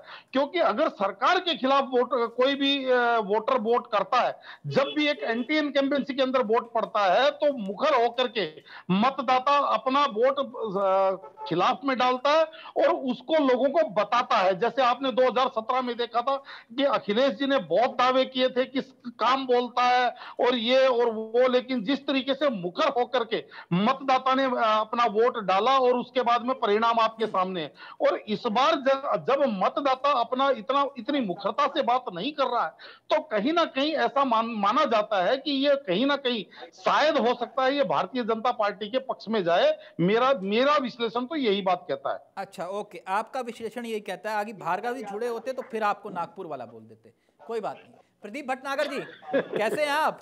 बहुत दिनों बाद दिखाई दिए सर। सब जी जी जी चावला जी नमस्कार। नमस्कार कैसे हैं सर? सब सब दुआएँ हैं आज आपने याद किया तो आज हाजिर हो गए आपके सामने। आ, प्रदीप आपके कटघरे में? नहीं नहीं कटघरे मेरा नहीं है सर ये जनता का कटघरा है। जनता का है। लेकिन प्रदीप जी एक बात आपसे जानना चाह रहा था। ये 2017 और 2019 में तो पन्ना प्रमुख बनाए थे। 2022 में बनाया कि नहीं? जी बिल्कुल 2022 से पन्ना प्रमुख भी बनाया और बूथ प्रमुख भी बनाया अच्छा, एक भारतीय जनता पार्टी की शैली है काम करने की बूथ लेवल पे उस काम पे हमने बाकायदा फोकस और ध्यान दिया है। और यही ध्यान है जो आज जो वोट हैं। इन हवाओं का रुख हाँ साहब, बिल्कुल, बिल्कुल। आपको? ये हवाओं का जो रुख है ये विकास की दौर है। ये योगी माननीय योगी आदित्यनाथ जी की दौर है। हम्म, ये दर्शाती हवाएँ कि गर्माहट जो पैदा होने शुरू हो गई इस हवा से तो जो विपक्षी पार्टियाँ हैं गुंडा प्रवृत्तियाँ पार्टियाँ हैं वो फिर से अलर्ट हो जाए ये हवाएँ गर्मी छुपने की तैयारी कर ले गर्मी उतार देगी हवाएँ? बिल्कुल उतार देंगे बिल्कुल उतार देंगे। देखिए आज चुनाव के टाइम में जितने भी उपद्रवी थे जितने भी गुंडा प्रवर्तक हैं सब उत्तर प्रदेश में एंट्री कर चुके हैं। और उन पर बहुत ध्यान देना है क्योंकि चुनाव में सब अपना रंग और कलर दिखा रहे हैं अपने गुंडैये का। हम्म, और इस गुंडैये को सिस्टम को ठीक करने के लिए जो आदित्य योगी योगी आदित्यनाथ जी ने सरकार ने जो हमारी जो काम किया तो था वोटर किसकी पे गर्मी फोकस उतार रहे हैं? आपको क्या लगता है? देखिए साहब वोटर तो गर्मी उसकी उतारेगा जिसने उनके लिए सुना नहीं उनके लिए काम नहीं किया वो किसी पार्टी का हो सकता है। हम्म, इस पे कोई टीका टिप्पणी बनेगा कि वोटर का एक मताधिकार है अपना प्रतिनिधि चुनने का। और वो मूलभूत अधिकार उसे उसे जी। तो उम्मीद है ना सर 300 पार वाली की नहीं? नहीं जी बिल्कुल बिल्कुल उम्मीद है और बहुत उम्मीदों से बैठे हैं। अगर हमने कुछ उत्तर प्रदेश की जनता के लिए हमारे भाई बहनों के लिए माता बहनाओं के लिए हमने जो भी अगर कुछ विकास कार्य जो भी हमने किया है वो सामने आएगा। बता रहे थे एसपी बघेल साहब को आपने बलि का बकरा बना दिया। देखिए बघेल साहब बली के बकरे की बात नहीं है। देखिए सागर करल सीट है। आज त्रिकोणी इतना ज़बरदस्त मुकाबला है कि अभी आपने ही बताया कि वहाँ पे सपा के गुंडे इस कैप्चन करने के लिए तैयार हैं। देखिए वहाँ मैं नहीं बता रहा वो आपके नेता आरोप लगा रहे हैं मैंने वो पढ़ के बताया। नहीं वो रियल है वो रियल है। इस समय पूरी पावर लगा रखी अच्छा, है तो समाजवादी आपके- पार्टी के जितने भी लोग हैं। मतलब आपके होते हुए बूथ कैप्चरिंग हो रही है। रहे वो तो भूल जाए बूथ कैप्चरिंग हो जाएगी। सर पन्ना पर मगर क्या है जो चीज़ें हो रही है तो संघर्ष तो उसका है ही। वहाँ पन्ना प्रमुख नहीं बनाए चावला जी नहीं पन्ना प्रमुख बिल्कुल बनाए हैं। पन्ना प्रमुख का काम है घर घर अपने अपने वोटर को देखना किसका वोट बनाए किसको तो नहीं। सर, बूथ कैप्चरिंग मगर प्रशासन का काम है। मैं बता वो भी बघेल साहब आरोप जी लगा बूथ रहे हैं। कैप्चर का काम है। बूथ कैप्चर का काम है प्रशासन का निर्वाचन आयोग का। क्योंकि शासक जो इस समय है वो निर्वाचन आयोग है उत्तर प्रदेश के अंदर। वो सतीश और इन चीज़ों का सतीश महाना वाली नोक झोंक हो रही थी पुलिस वालों के साथ। जिला प्रशासन के साथ नोकझोंक हो रही थी। देखिए आपने वो तस्वीरें? हाँ नहीं नहीं देखिए चुनाव का टाइम में नोकझोंक चलती रहती है। हमने तो पश्चिम बंगाल में नोकझोंक देखी हमने तो खूब भयंकर वाली देखी बंगाल में तो तो। खून खराबा देखा होगा सर आपने। हाँ हाँ नहीं नहीं नोकझोंक तो हमने यहाँ नहीं नोकझोंक तो हमने यहाँ भी देखी यहाँ पश्चिम बंगाल तो उत्तर प्रदेश ना तो बना ना बनेगा। वो आपकी मेयर आपकी मेयर पर भी मुकदमा दर्ज हो गया सुनने में आया वो कुछ चुनावी आचार संहिता का उल्लंघन कर रही थी। सुना आपने? प्रमिला पांडे वो वाली तस्वीरें देखिए वो देखिए देखिए हाँ हाँ हाँ, नहीं नहीं चावला जी ऐसा है। देखिए चुनाव आयोग का जो उल्लंघन करेगा या शिकायत आएगी कार्रवाई करेगी उस पर अगर पुलिस पे कोई अगर पुलिस पे कोई आप कंप्लेंट देते हैं एफआईआर लिखवाते हैं तो पुलिस कार्रवाई करती है। तो उसी प्रकार से निर्वाचन आयोग कोई शिकायत करेगा तो उस पर तो कार्रवाई करेगा ना वो। और सही गलत को ठहराना हम आप तो नहीं कर सकते। नहीं बिल्कुल सही कह रहे हैं आप।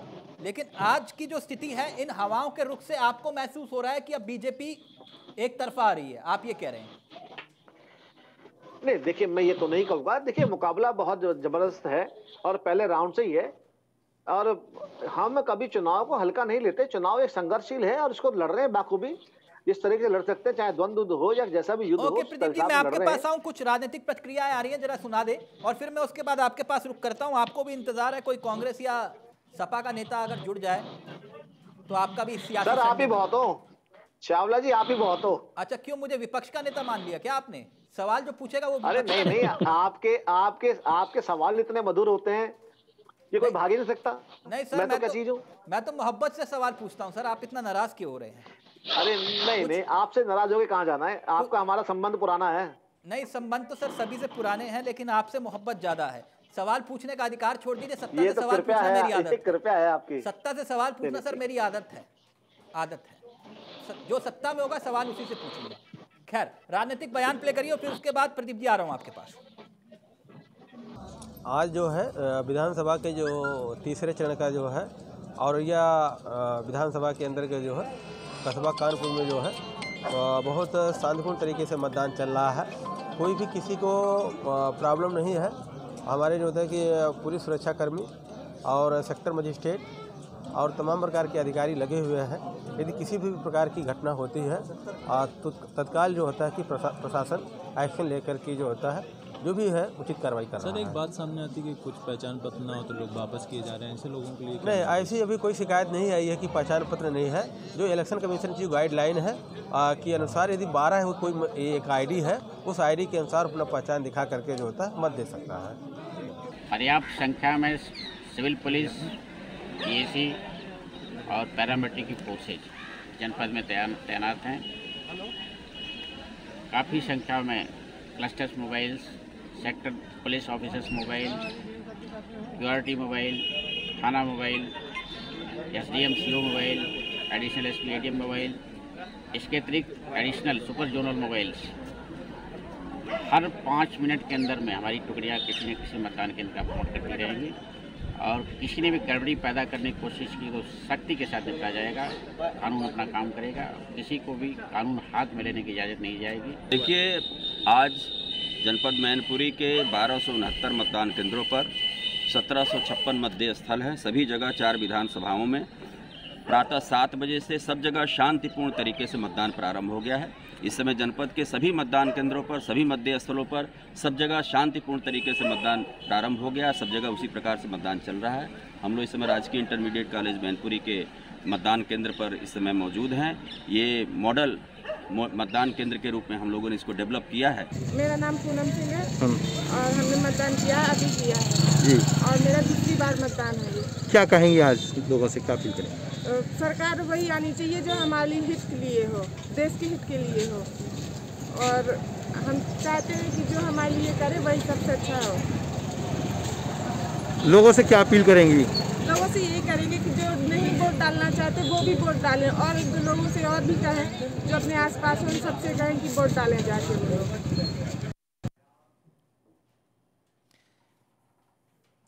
प्रदीप जी, एक बड़ी खबर आ रही है। अभी मैंने हाथरस वाली तस्वीरें दिखाई थी, थोड़ी देर पहले। हाथरस कांड जहाँ पर हुआ था, उसके पीड़ित परिवार जो है वो वोट डालने गया। उसकी तस्वीरें मैंने दिखाई। अब खबर ये आ रही है कि बिकरू कांड जहाँ हुआ था बिकरू कांड का गाँव है वहाँ पर लंबी लंबी कतारें लंबी लंबी कतारें लगी हुई हैं वोट डालने के लिए। क्या लगता है आपको? ये हाथरस कांड बिकरू कांड क्या लगता है आपको? देखिए ये चुन हाँ हाँ देखिए ये एक प्रोत्साहन है त्योहार का जो चल रहा है आज वोटिंग का। और अच्छा, इस ये प्रोत्साहन को है, आगे और बढ़ाना चाहिए। जी जी जी।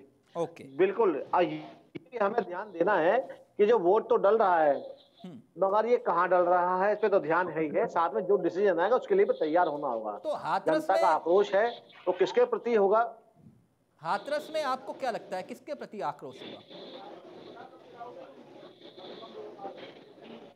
प्रदीप जी। हाँ जी हाँ जी। मैं कह रहा हूँ हाथरस में किसके प्रति आक्रोश होगा? क्या लगता है आपको?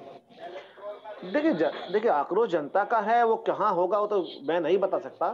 बाकी ये है जो वोट की चोट है वो जनता कर रही है और किसको देनी है वो तो जब डब्बे खुलेंगे जब मशीन ओपन होंगे तब पता लगेगी किस पे पड़ी है वो। अच्छा हाथरस ओ बिकरू में क्या लगता है आपको? बिकरू बिकरू कांड जहाँ? देखिए बिगरू हो या हाथरस हो लखीमपुर हो या अच्छा प्रदेश से कहीं भी तो हो जहाँ चुनाव आपने। हो ना लखीमपुर भी जोड़ लिया आपने।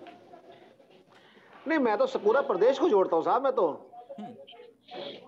पूरे प्रदेश को जोड़ता हूँ प्रदेश की वोटिंग होनी है जहाँ कहीं एक चरण की हो चुकी है अब तीसरे चरण की हो रही है आगे भी होनी है। ये ये सब बातें असर डालती है चुनाव में। बिक्रू कांड हाथरस कांड लखीमपुर कांड कुछ डालती है सर थोड़ा शोर बहुत आ रहा थोड़ा से कम कराइए पहले हाँ सर सवाल का शोर बहुत तो थोड़ा सुन।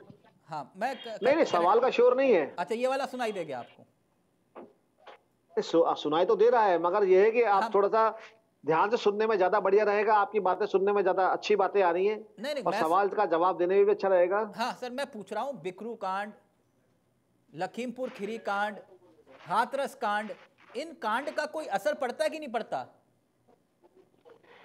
देखिए जितने भी है हाथरस कांड हो चाहे हा- चाहे वो लखीमपुर कांड हो जिन्होंने ये काम किया वो जेल में है या बेल में है ये सामने है। नहीं जेल में तो निकल आए ना।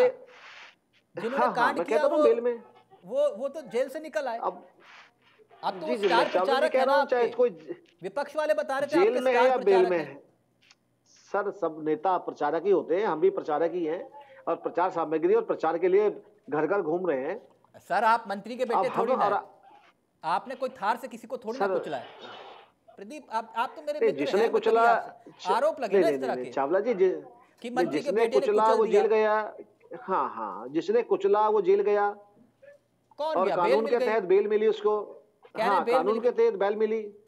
हाँ तो मैं कहता रहा हूँ कानून के तहत ही तो जो बेल मिली कानून के तहत मिली।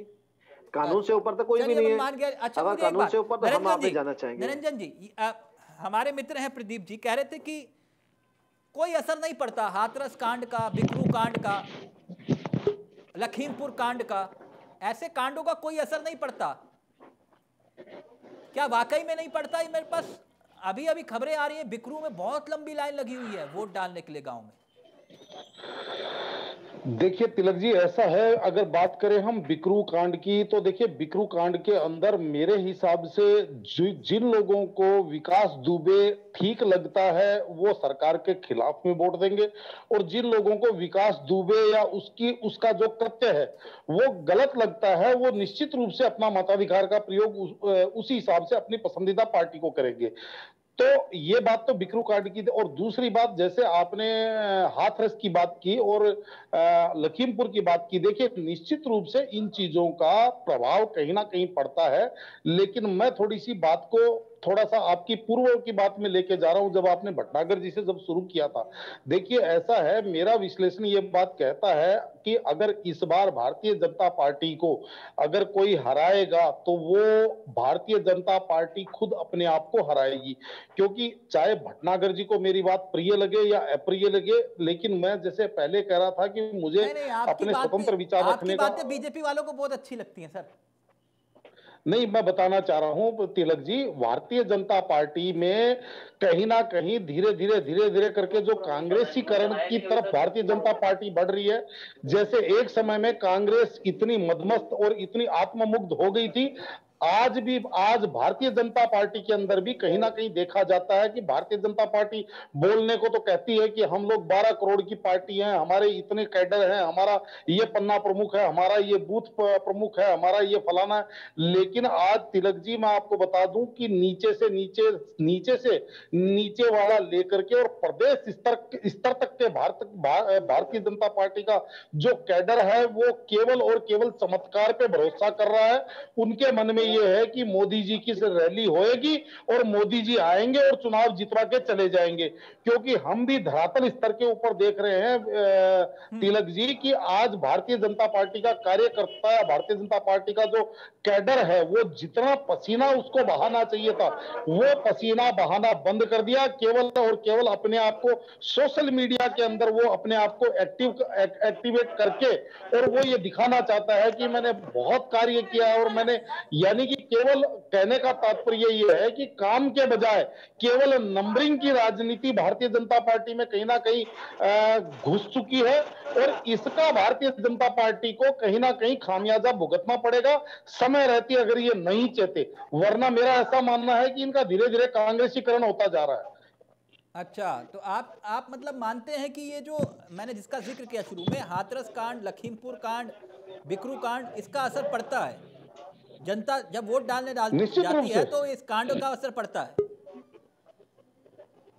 निश्चित रूप से देखिए ऐसा है ना तिलक जी किसी भी मुद्दे को लेकर के जनता कभी भी उसको भूलती नहीं है और वोट देते समय जनता अपना गुस्सा निश्चित रूप से उसके ऊपर उतारती है। इस चीज़ को तो कोई नकार ही नहीं सकता। ओके आप ये कह रहे हैं इसको कोई नकार नहीं सकता लेकिन यहाँ स्थिति जो आ रही है जिसका ज़िक्र मैं लगातार कर रहा हूँ दोपहर एक बजे तक 36 प्रतिशत के आसपास यूपी में वोटिंग हुई है।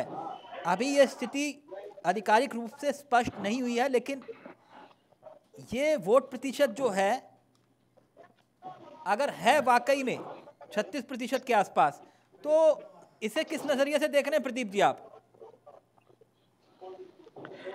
जी देखिए वोटिंग अभी थोड़ी कई जगह स्लो भी है कई जगह ठीक भी चल रही है मगर शाम तक पॉजिटिव रहेगा अच्छी मतदान सब हो रहा है और अपने मत का जो प्रयोग लोगों को करना चाहिए और वो कर रहे हैं। और बाकी देखिए अब जिस हिसाब से वोटिंग हो रही है कई जगह बहुत स्लो है शहरी क्षेत्रों में। बाकी शाम तक उम्मीद है अच्छी वोटिंग होने की। अच्छी वोटिंग हुई तो इसका क्या मतलब? आपको क्या लगता है? आपके पक्ष में? बिल्कुल आश्वस्त बैठे हैं बिल्कुल हमारे पक्ष में क्यों नहीं? अच्छा माना जाता है कि एंटी इनकम्बेंसी होती है और इस तरह से खतरे की घंटी होती है सरकार को लेकर। कुछ ऐसा होता है नहीं क्या? नहीं नहीं पहले तो देखिए मैं बताता हूँ अगर पिछले वाले भी आंकड़े देखेंगे तो कहीं एक परसेंट ज़्यादा तो कहीं एक परसेंट कम हुआ है। देखिए मगर उसमें यह है कि हम उम्मीद है हम पूरी तरीके से अस्वस्थ हैं। और देखिए मैं अभी सुन रहा था पन्ना प्रमुख तो बनाए तो मगर ये पंद्रह बीस परसेंट और तीस परसेंट वाली थ्योरी मेरे मित्र जुड़ गए हैं के मिश्रा। अभी मैं उनसे पूछूँगा ये पंडित जी भी हैं वैसे राजनीतिक पंडित भी हैं।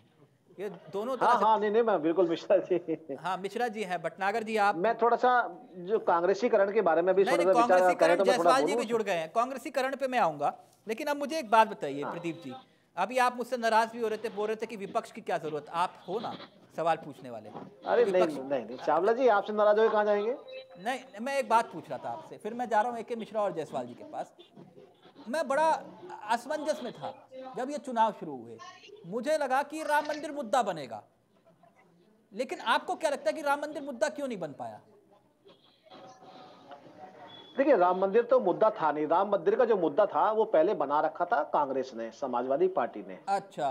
मगर क्या करे भारतीय जनता पार्टी स्पष्टीकरण के लिए उतरेगी। ये वही लोग हैं जो पूछते थे कि मंदिर वहीं बनाएँगे मगर तारीख नहीं बताएँगे। अच्छा इसलिए राम मंदिर आज विषय जो है ना। हाँ अच्छा मुझे एक बात मुद्दा। आज देखिए मुद्दा विकास का है। अच्छा विकास का। मुद्दा अच्छा ये विकास का है मुद्दा कानून व्यवस्था का है। लेकिन फिर उसके बाद ठीक जो है आ, फिर राम मंदिर वाले मुद्दे के बाद ठीक 80 और 20 आया। फिर वो भी मुद्दा नहीं बन पाया 80 और 20 आपको क्या लगता है क्यों ऐसा हुआ? देखिए अस्सी और बीस का तो कोई मुद्दा ही नहीं है। चुनाव में तो अब सब मीडिया ने इस चीज़ को बनाया अब अस्सी अच्छा, और मीडिया ने बीस का मगर हाँ मगर विषय जो अस्सी बीस का तो था ही था सामने कि अस्सी अच्छा, परसेंट और बीस परसेंट अमित शाह जी ने हिजाब- मुख्यमंत्री जी ने अमित शाह जी ने निज़ाम कुछ पढ़ के बताया था वो सारे निज़ाम वो भी मुद्दा नहीं बन पाया। क्यों आपको क्या लगता है क्यों नहीं बन पाया वो? देखिए केवल उत्तर प्रदेश का जो मुद्दा था वहाँ के यहाँ का लॉ एंड ऑर्डर था यहाँ के विकास कार्य था की बात करते करते निज़ाम पढ़ा रहे थे। कुछ ऐसे कह रहे थे निजामुद्दीन और कुछ इस तरह से उन्होंने बताया। सारे मुसलमानों के नाम गिनवा दिए। फिर वो भी मुद्दा नहीं बना। अच्छा फिर उसके बाद उसके बाद भटनागर जी फिर आया हिजाब। जैसे पिछली बार कब्रिस्तान आया था ना, शमशान और कब्रिस्तान, फिर हिजाब आया। और मेरे कई मित्र थे, वो रोज कह रहे थे, इसको लड़वा दो, उसको लड़वा दो, हिंदू, मुसलमान, पाकिस्तान। वो भी मुद्दा नहीं बन पाया। आपको क्या लगता है? नहीं ऐसा क्यों हुआ? आप अगर हिजाब की देखिए अगर आप हिजाब की बात करते हैं भारतीय जनता पार्टी किसी भी नेता ने अपने मंच से हिजाब की बातें नहीं करी। किसने बात करी? ओबीसी जी ने बात करी। अच्छा हम ये भी मैं भूल गया था। यही भूल गया था। ओवैसी हाँ। भी मुद्दा नहीं बन पाए। आपको क्या लगता है क्यों ऐसा हुआ? ओवैसी भी मुद्दा नहीं देखिए मुद्दे सारे बने भी और सारे मुद्दे यूँ नहीं बने क्योंकि प्रदेश के अंदर जो कार्य हुआ और प्रदेश की जो विभिन्न समस्याएँ थी जिन जिन चीज़ों को लेकर चुनाव लड़ा गया विपक्ष जिन चीज़ों को रेगुलरली मतलब अपने को लेकर से उठा रहा आपको लगता है कि बेरोजगारी मुद्दा था? बेरोजगारी बिल्कुल मुद्दा था। हम बिल्कुल डिनाई नहीं करते और बेरोजगारी के लिए प्रदेश में जो काम करना चाहिए था अच्छा। प्रदेश। सरकार ने उस काम को किया। ये शिक्षक भर्ती घोटाला मुद्दा था। उनहत्तर हज़ार। उस बिल्कुल उस पर इंक्वायरी बैठी। मुद्दा था। इसमें कोई है ही नहीं सारा पारदर्शिता हर चीज़ सामने आपके है ही। सामने जी इसमें और क्या बताने ये जो बेरोजगारों पर लाठियाँ चली डंडे चले वाटर कैनन का इस्तेमाल हुआ लखनऊ की सड़कों पर खूनम खून हुआ ये मुद्दा था। देखिए अगर आप बात करें खूनम खान की बात करें देखिए लॉ एंड ऑर्डर के लिए प्रशासन अपना काम करता है। अच्छा। और ये कोई आज नई बात नहीं है राजस्थान में भी हमने देखा। राजस्थान। जब आपकी जब सब आपके देखिए सब आपकी जब आपके उपद्रव होगा। वो जो लोकतंत्र के दिन जो है गणतंत्र के दिन गणतंत्र चल रहा था। वो वो वो मुद्दा था लगता है आपको? गणतंत्र। नहीं आप बिल्कुल गणतंत्र की अगर बात करें या गणतंत्र की बात करें अगर गणतंत्र को प्रदेश देश के बात कर रहा हूँ गणतंत्र मैं थोड़ा खुल के बोलिए ना आप क्यों पहली बुझा रहे हैं? सर मैं पहली क्यों बुझाऊँगा? मैं तो सीधा सीधा पूछ रहा हूँ। मैंने तो आपको 80 और 20 से गिनवा दिया सर। जो मुद्दे आपने बनाए राम मंदिर मुद्दा नहीं बना 80 20 मुद्दा नहीं बना हिजाब मुद्दा नहीं बना ओवैसी मुद्दा नहीं बना आप खुद मान रहे बेरोजगारी मुद्दा था। खैर नहीं नहीं देखिए एक है मिश्रा अभी रुकिए ना अभी रुकिए। मैं अभी रुकिए। अब वो कह रहे हैं अब छोड़िए मैं नहीं बोलता। कमेंट आ गया था कोई बात नहीं। छोड़िए। एक के मिश्रा जी क्या लग रहा है आपको? आज हवाओं का रुख कहाँ जा रहा है? बहुत तेज हवाएँ चल रही हैं। क्या लग रहा है आपको? चावला जी देखिए एनालिसिस की एक विधा होती है एक स्ट्रीम वर्बाटिम हम वर्बाटिम बेसिस पे एनालिसिस करेंगे एज इट इज़ बात हम ना बीजेपी की करेंगे ना कांग्रेस की ना सपा और बसपा की अब की बार जो मुद्दे हैं पक्ष ने विपक्ष ने मुद्दे बनाने की कोशिश की एक और ऐसी पार्टी है जिसने मुद्दा बनाया और उसी का मुद्दा चल रहा है। वो पार्टी है वोटर्स जनता। मैं बोलूँगा बीजेपी ने मुद्दे बनाने की कोशिश की जिस लेवल पे उन्होंने कोशिश की वो मुद्दा नहीं बन पाया। सपा ने मुद्दा बनाने की कोशिश की वो भी हंड्रेड परसेंट मुद्दा बन के लहर नहीं बन पाया। यानी मुद्दा का मतलब है जो मुद्दा बने और लहर में ट्रांसफॉर्म हो जाए। अब की बार सारा का सारा डिसीज़न आप ये देखिए जनता अपने आप से ले रही है। वो किसी पार्टी के इन्फ्लुएंस में हंड्रेड परसेंट नहीं है वो एक्सेप्ट तो कर रही है कि हाँ भाई फलाने चीज़ इस पार्टी की सही थी फलाने चीज़ इस पार्टी की गलत है। कुछ चीज़ों को वो मान रही है कुछ चीज़ों को डिनाई कर रही है। यानी सेंटर में एक वोटर अपनी प्रॉब्लम को रख करके इस इलेक्शन को देख रहा है। ये बड़ा अलग सा डायनामिक्स है। इसीलिए आपको बड़े अलग और मिक्स टाइप के रिज़ल्ट आ रहे हैं। कहीं परसेंटेज वोटिंग ज़्यादा हो रही है, कहीं कम हो रहा है। हर तरीके के आपको वोटर्स मिलेंगे जो कि अपने अपने ओपिनियन बता रहे हैं। अब रही बात सवाल ये कि इसमें होगा क्या? ऐसी सिचुएशन में होता है कि जब वोटर्स डोमिनेट करने लगता है वोटर्स किसी पार्टी के मोटिवेशन में बहकावे में छलावे में नहीं आता है तो वाकई में बड़ा निष्पक्ष टाइप का चुनाव होता है। और ऐसे में चुनौतियाँ सत्ता पक्ष के लिए और बढ़ जाती है। दिखाऊँगा। मैं मैं ए के मिश्रा जी मैं जितना आपको जानता हूँ बहुत लंबे अरसे से आप राजनीतिक पंडित हैं और आपकी भविष्यवाणी अधिकतर बिल्कुल सटीक बैठती है। आप मुझे इधर उधर की बात मत करो अब मुझे सीधा सीधा बताओ पंडित जी कि ये ये संकेत क्या है? अभी तीन चरण के चुनाव ये बीजेपी कह रही है कि देखिए फिर से जनता ने मुख्यमंत्री तय कर दिया तीन चरण में। सपा भी यही बात कह रही है। नहीं। बात बीजेपी नहीं सपा ने तो ये बोला था, हम 403 में से 403 सीट जीतेंगे। अगर हम बीजेपी और सपा की बात करें तो दोनों के पसीने छूट रहे हैं, उसके पीछे कारण है। बीजेपी अपनी पिछली परफॉर्मेंस को रिपीट कर पाएगी कि नहीं, क्योंकि जनता 100 परसेंट उसके कहने पे नहीं जा रही है, और सपा अपनी लहर को क्रिएट कर पाएगी कि नहीं? तो असमंजस में दोनों है क्योंकि हम्म। यहाँ पे एक इंडिविजुअल वोटर अपना डिसीज़न ले रहा है न कि पार्टी के इन्फ्लुएंस में आके ले रहा है। मैं इसीलिए बोल रहा हूँ चुनौती सत्ता पक्ष और विपक्ष के लिए बराबर की हो गई है। सत्ता पक्ष के लिए चुनौती है। बात की जा रही है ये लहर सी कोई बात नहीं है। नहीं, लहर कोई बात नहीं है। अब की बार जो लहर दिख रही है, वो जनता की लहर दिख रही है। जनता अपने आप में डिसीज़न ले रही है। हर इंडिविजुअल आदमी, देखिए, एक फैमिली में बुज़ुर्ग है, वो अपना डिसीज़न ले रहा है अपने एक्सपीरियंस पे। लेकिन एक जो नौजवान है रोज़गार के लिए जिसकी प्रायोरिटी है वो अपने डिसीज़न अपने तरीके से ले रहा है। अच्छा। एक महिला अपने डिसीज़न अलग तरीके से ले रही है। हम्म। हम जो एनालिस्ट हैं हम इन सारी सिचुएशन को एक नए और अलग तरीके से अब की बार हम देख रहे हैं। नहीं पंडित जी मुझे एक बात बताइए आप। एक बात और फिर मैं जयसवाल जी आपके पास आ रहा हूँ। ये जो पिछली बार जिसका ज़िक्र आपने किया 2017 और 19 मैंने अभी नरेंद्र जी से भी ये सवाल पूछा था। जब वोटर वोट डाल के बाहर निकल रहा था, ये आ गए आंकड़े आ गए। ये आंकड़े उत्तर प्रदेश के एक बजे तक आपको बता दें छत्तीस फ़ीसदी के आसपास मतदान हुआ है। हाथरस में भी सैंतीस फ़ीसदी कासगंज में अड़तीस फ़ीसदी के आसपास एटा में बयालीस फ़ीसदी के आसपास, मैनपुरी में इकतालीस फ़ीसदी, फरीदाबाद में पैंतीस फ़ीसदी के आसपास कटोज में अड़तीस फ़ीसदी के आसपास, इटावा में सैंतीस आसपास औरैया में छत्तीस फ़ीसदी कानपुर देहात में पैंतीस फ़ीसदी कानपुर नगर में। उनतीस फ़ीसदी के आसपास जालौन में अड़तीस फ़ीसदी के आसपास झांसी में तैंतीस फ़ीसदी के आसपास ललितपुर में बयालीस फ़ीसदी के आसपास वोट हुए हैं। और ऐसे में हमीरपुर में छत्तीस फ़ीसदी मोहबा में उनतालीस फ़ीसदी के आसपास वोटिंग हुई है। ए के मिश्रा जी, अपनी बात कंप्लीट करिए, फिर जयसवाल जी आपके पास आ रहा हूँ। ये ताज़ा अपडेट है अब तक का। मिश्रा जी मिश्रा जी का अब की बार लक्षण ऐसे हैं कि किसी की हवा पुरजोर नहीं चल रही है। अगर किसी की भी हवा पुरजोर चलती तो एक घंटे पहले से लाइनें लगी रहती और वोटिंग का ये एवरेज परसेंट या बिलो एवरेज नहीं जाता। छत्तीस परसेंट है, आप इसको पचहत्तर परसेंट प्लस माइनस पाँच परसेंट शाम तक मांग सकते हैं कि यानी कि लगभग सत्तर परसेंट के आसपास पचहत्तर से अस्सी परसेंट के आसपास जाएगा। मुझे वो चीज़ नहीं दिख रही है जो दो हज़ार सत्रह में थी। ना ना सेवेंटी फाइव परसेंट तो बहुत हो गया मिश्रा जी।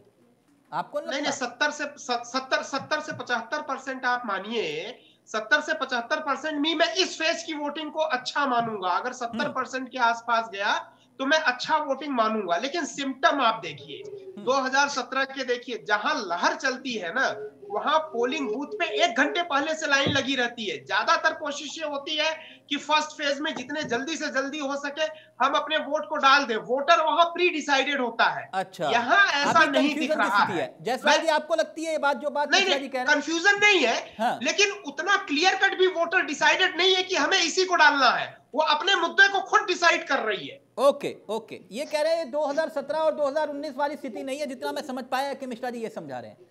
वोटर साइलेंट इसलिए है। जयसवाल जी। देखिए वोटर साइलेंट इसलिए है हम्म। कि जो जिस तरह का मुद्दा लेकर हमेशा सरकार अपने दायित्व का निर्वहन न करते हुए जिस तरह से मुद्दा से भटकाई भटकाया गया युवाओं को रोज़गार की बात और महँगाई जो मुख्य मुद्दा था उससे उत्तर प्रदेश की जनता बिखर गई है। और इस चुनाव में अजमंजस का स्थिति यह है कि वोटर साइलेंट है और बदलाव परिवर्तन तो होना ही है क्योंकि जो रोज़गार की बात करके सत्ता में आई सरकार चाहे केंद्र सरकार हो तो चाहे आपको राज्य पूरी सरकार उम्मीद है कि समाजवादी पार्टी की सरकार बन रही है? बात और महँगाई और युवा बेरोजगारी अब राजनाथ सिंह के सभा में देखे होंगे जिस तरह से भर्ती का नारा लगाते हुए युवा अपना मांग कर रहे थे तो उत्तर प्रदेश में सबसे ज़्यादा बेरोजगारी दर घटी हुई है और बेरोजगार सब, बेरोजगारी सबसे बड़ा मुद्दा जैसे आप देखे होंगे, जिस तरह से छात्रों पर लाठीचार्ज किया गया और वो बहुत बड़ा मुख्य मुद्दा है और क्राइम रिपोर्ट का बात करते हैं तो जिस तरह भारतीय जनता पार्टी सरकार में उत्तर प्रदेश में लैंड एंड ऑर्डर सबसे ज़्यादा, सभी यानी सैंतीस साल, पैंतीस साल से ज़्यादा अपराध बढ़ा है और इसी में इसी अपराध में हथरस कांड उन्नाव की बेटी के साथ जैसे किसानों पर गाड़ी चढ़ाया गया। और कई मुद्दा जिस तरह से एक सांसद को गोली मार गाड़ी पे गोली मारा जाता है और एक मंत्री जाके उनसे मिलते हैं। बहुत सारे मुद्दा है। ओवैसी पे गाड़ी गोली चलाया गया उनके गाड़ी पे। और उन्हें भाजपा के मंत्री जाकर उन लोगों से मिलते हैं, उनके परिवार से मिलते हैं। तो लोगों को मालूम है कि कैसा उत्तर प्रदेश में लैंड एंड ऑर्डर है। नब्बे प्रतिशत नब्बे सीट भाजपा में अपराधियों को दिया जाता है जिसपे अपराध कायम है। जायसवाल जी। कहते अपराध मुक्ति गृह मंत्री दूरबीन से अपराधी खोज रहे थे उत्तर प्रदेश में जो भारतीय जनता पार्टी सरकार में सबसे ज़्यादा ऑडियो नहीं आ रहा है सुनना नहीं चाह रहे? आपके पास ऑडियो नहीं आ रहा सुनना नहीं बोली आवाज़ आ रहा है आवाज़ आ रहा है सवाल ले लीजिए। आपको पूरा यकीन है कि समाजवादी पार्टी की सरकार बनेगी? देखिए समाजवादी पार्टी की नहीं परिवर्तन होगा। समाजवादी पार्टी सरकार अकेले नहीं बनाएँगे उनको किसी की ज़रूरत पड़ेगी और परिवर्तन तो होगा क्योंकि बदलाव का जिस तरह से किसकी ज़रूरत पड़ेगी? के अंदर उत्साह है वोट दे रहे हैं अभी आप सैतीस से बयालीस प्रतिशत किसकी ज़रूरत पड़ेगी? मुझे बताइए तो सही। में किसकी ज़रूरत पड़ेगी? जी बताइए। किसकी ज़रूरत पड़ेगी? अब वो आने वाले समय 10 मार्च को आपको स्पष्ट 8 तारीख को 10 तारीख को पता चल जाएगा कि किसकी ज़रूरत पड़ेगी आप बता देंगे तो अच्छा रहेगा ना, किसकी ज़रूरत पड़ेगी? करने के लिए क्योंकि जब जनता परिवर्तन के मूड में है और जनता पूर्णतः मन बना लिया है कि जिस तरह से झांसा देकर कभी राम का नाम लेकर आप देखिए बता भी नहीं रहे। आप कह रहे हैं कि कांग्रेस आप कह रहे हैं कि सपा को ज़रूरत पड़ेगी किसकी ज़रूरत पड़ेगी? मैं वही तो पूछ रहा हूँ बीजेपी के समर्थन की। किसको ज़रूरत पड़ेगी? कांग्रेस के बगैर सरकार नहीं बनेगी किसी का आज जिसको बनाना है वो समझ में कांग्रेस के बगैर सरकार नहीं बनेगी। जी। पक्का सर? पक्का पक्का। कितनी सीटें जीत रहे हैं? और जिस तरह से नहीं नहीं आप बताइए सरकार कई तरह से बांटने का काम किया उत्तर प्रदेश में जायसवाल जी घुमा क्यों रहे? कितनी सीटें जीत रहे हैं? जी बता जी दीजिए बोलिए बोलिए चावला जी बोलिए सुन रहा हूँ मैं। कितनी सीटें जीत रहे हैं? कितनी सीटें? हम बहुत अच्छे स्थिति में आ रहे हैं बहुत यानी आप अपने आंकड़ा से बताइए कितने सीट जीत रहे हैं। हम तो बहुत स्थिति आप- हमारा तो आप देखिए आप मेरे ऊपर टोपी ट्रांसफ़र कर रहे हैं। टोपी आपने पहनी है मेरे ऊपर ट्रांसफ़र कर रहे हैं। टोपी मैं ज़रूर पहना हूँ लेकिन देखिए मुस्कुरा रहे हैं। कांग्रेस वहाँ परिवर्तन और बदलाव में सबसे मुख्य भूमिका में आ रही है और कांग्रेस एक आधारशिला जो वोट था जो युवाओं में और महिलाओं में जोश आया है जिस तरह से हम महिलाओं को टिकट दिए हैं हथरस में जिस तरह से हथरस के बेटी के न्याय के लिए आशा सिंह को टिकट दिए हैं जिस तरह से अच्छा, तो हम आप ये कह रहे हैं के युवाओं अच्छा आप ये कह रहे हैं कि अखिलेश यादव मुख्यमंत्री बनेंगे और प्रियंका गांधी डिप्टी सीएम बनेंगी ना ना ऐसा बात नहीं बोल रहा हूँ मैं मैं अभी निर्णय करने वाला कौन हो सकता हूँ लेकिन मेरी पार्टी बहुत मजबूती से आगे आ रही है अच्छा। जनता का प्यार उत्तर प्रदेश के। 24 करोड़ लेकिन- लेकिन करोड़ उससे जनता पहले ने एक निर्णय लिया है कि कांग्रेस ए के मिश्रा जी थोड़ा मूड हल्का थोड़ा मूड हल्का सर आज आज देखिए मतदान का दिन है। लेकिन मैं मिश्रा जी आपसे जानना चाहता हूँ आप मुस्कुरा क्यों रहे थे? मैं जयसवाल जी से पूछ रहा था तो आप मुस्कुराए क्यों? मैं जान सकता हूँ। देखिए कांग्रेस जैसा ऊँट यूपी चुनाव का पहाड़ चल चढ़ने चला है तो मुझे मुस्कुराहट इसीलिए हो रही थी। कांग्रेस की पोजीशनिंग क्या थी? यूपी इलेक्शन में अपनी उपस्थिति दर्ज कराना और अपनी उपस्थिति से ज़्यादा प्रियंका दीदी की प्रेजेंस को वहाँ पे मेंटेन करना या लॉन्च करना मुझे ज़्यादा लगा। पूरे कैंपेन का मतलब ये। कांग्रेस कहीं भी डिसाइसिव मूड में नहीं थी वहाँ पे। वो अपने अपनी पोजीशनिंग प्रियंका दीदी को लॉन्च कर रही थी। देखिए राहुल गांधी वगैरह कांग्रेस के और कोई नहीं नेता है। एक छत्र प्रियंका गांधी प्रियंका दीदी वहाँ पे आई हैं। अब ये रही बात बोल रहे हैं कि भाई बिना हमारे सरकार नहीं बनेगी। तो मुझे तो उम्मीद है कि आप समर्थन देने लायक सीटें ले आ पाएँगे कि नहीं लाएँगे? आपको बुरा ज़रूर लगेगा मेरी शुभकामनाएँ ज़रूर है आपको। मुझे ऐसा कोई इलिमेंट पूरे कैंपेन के दौरान नहीं लगा जहाँ पे ये हो कि आप फाइट में हो। आप लीडर या चैलेंजर या एडॉप्टर किसी भी किसी भी तरीके के जो तीन चार पैरामीटर होते हैं फॉलोअर्स वगैरह, आप उसमें नहीं थे। ठीक है, एक पार्टी है प्रेजेंस के तौर पे बने थे। यहाँ पे अगर सारी चीज़ें देखी जाए तो ये क्लियर कट है कि दो ही पार्टी आमने सामने मैदान में दिख रही हैं। वो है बीजेपी और बीजेपी को चैलेंजर जो है जो चैलेंज कर रहा है वो समाजवादी पार्टी है। मुद्दा यहाँ पे बड़ा गंभीर है। नहीं जायसवाल जी कभी इतने शांत होते है- नहीं है। मैं जायसवाल जी आप एग्री करते हैं जो मिश्रा जी बात कह रहे हैं? कह रहे हैं आप ना तीन में ना चुनाव का रिज़ल्ट अभी जानते हैं इसीलिए शांत हो गए। बात को एग्री नहीं करता हूँ मैं चैलेंज के साथ करता हूँ जिस तरह से ये बोल रहे हैं। उत्तर प्रदेश में आप देखे होंगे प्रियंका दीदी जिस जगह जिस तरह से महिलाओं और विकास की बात कर कर हमेशा ये लोग भारतीय जनता पार्टी गर्मी उतार रही थी तो सपा चर्बी निकाल रही थी। उसमें वो रोज़गार की बात कर कर, भर्ती की बात कर कर और युवाओं को जिस तरह से जोश खरोश के साथ ग्रामीण परिपक्व में हम लोग जमीनी स्तर पर जाके प्रचार प्रसार करके देखे हैं कि किस तरह से लोगों के अंदर अंतर मन में एक बदलाव आने का एक नया सूरज तरह तभी आप सीट प्रियंका भी नहीं बता रहे सर। लेके आप है देखिए ना। महिलाओं को ताकत को ताकत लेकर और उसका 10 मार्च को रिज़ल्ट में आपको दिख जाएगा जैसे हमारे आदरणीय मिश्रा जी बोल रहे हैं वैसा कुछ नहीं है। 10 मार्च को आपको रिज़ल्ट दिखेगा कि कांग्रेस कितनी मजबूती के साथ उत्तर प्रदेश में उनका वेलकम हो रहा है और कांग्रेस एक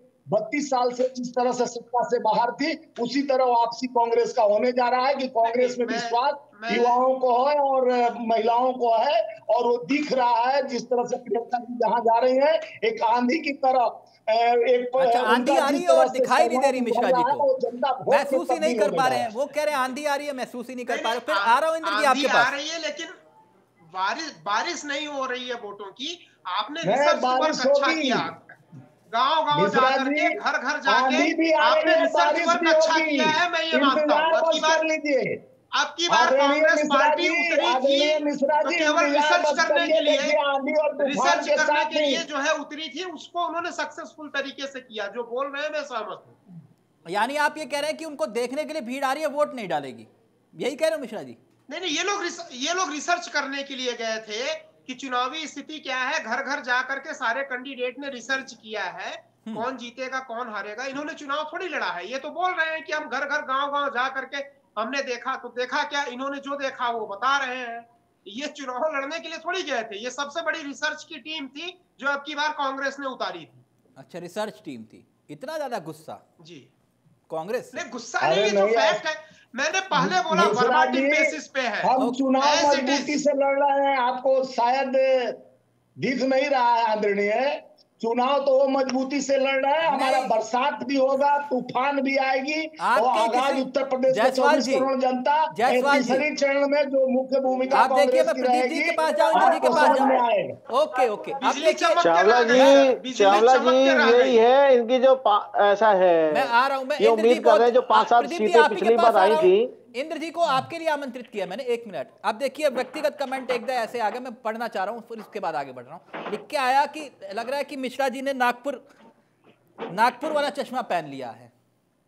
मिश्रा जी ने नया कमेंट आया मिश्रा जी आपके के मैं बीजेपी के अगेंस्ट बोल रहा हूँ और मुझे बोल रहे हैं कि नागपुर वाला चश्मा। मैंने पूरे डिबेट में बीजेपी को डाउन डाउनफॉल दिखाया है सर अच्छा आपने डाउनफॉल दिखाया। आपने फिर लगता है कि कांग्रेस की सरकार बना रहे ओके एक मिनट। नहीं कांग्रेस की मैं देखिए दर्शक महोदय से है कि मुझे फिर से सुनिए।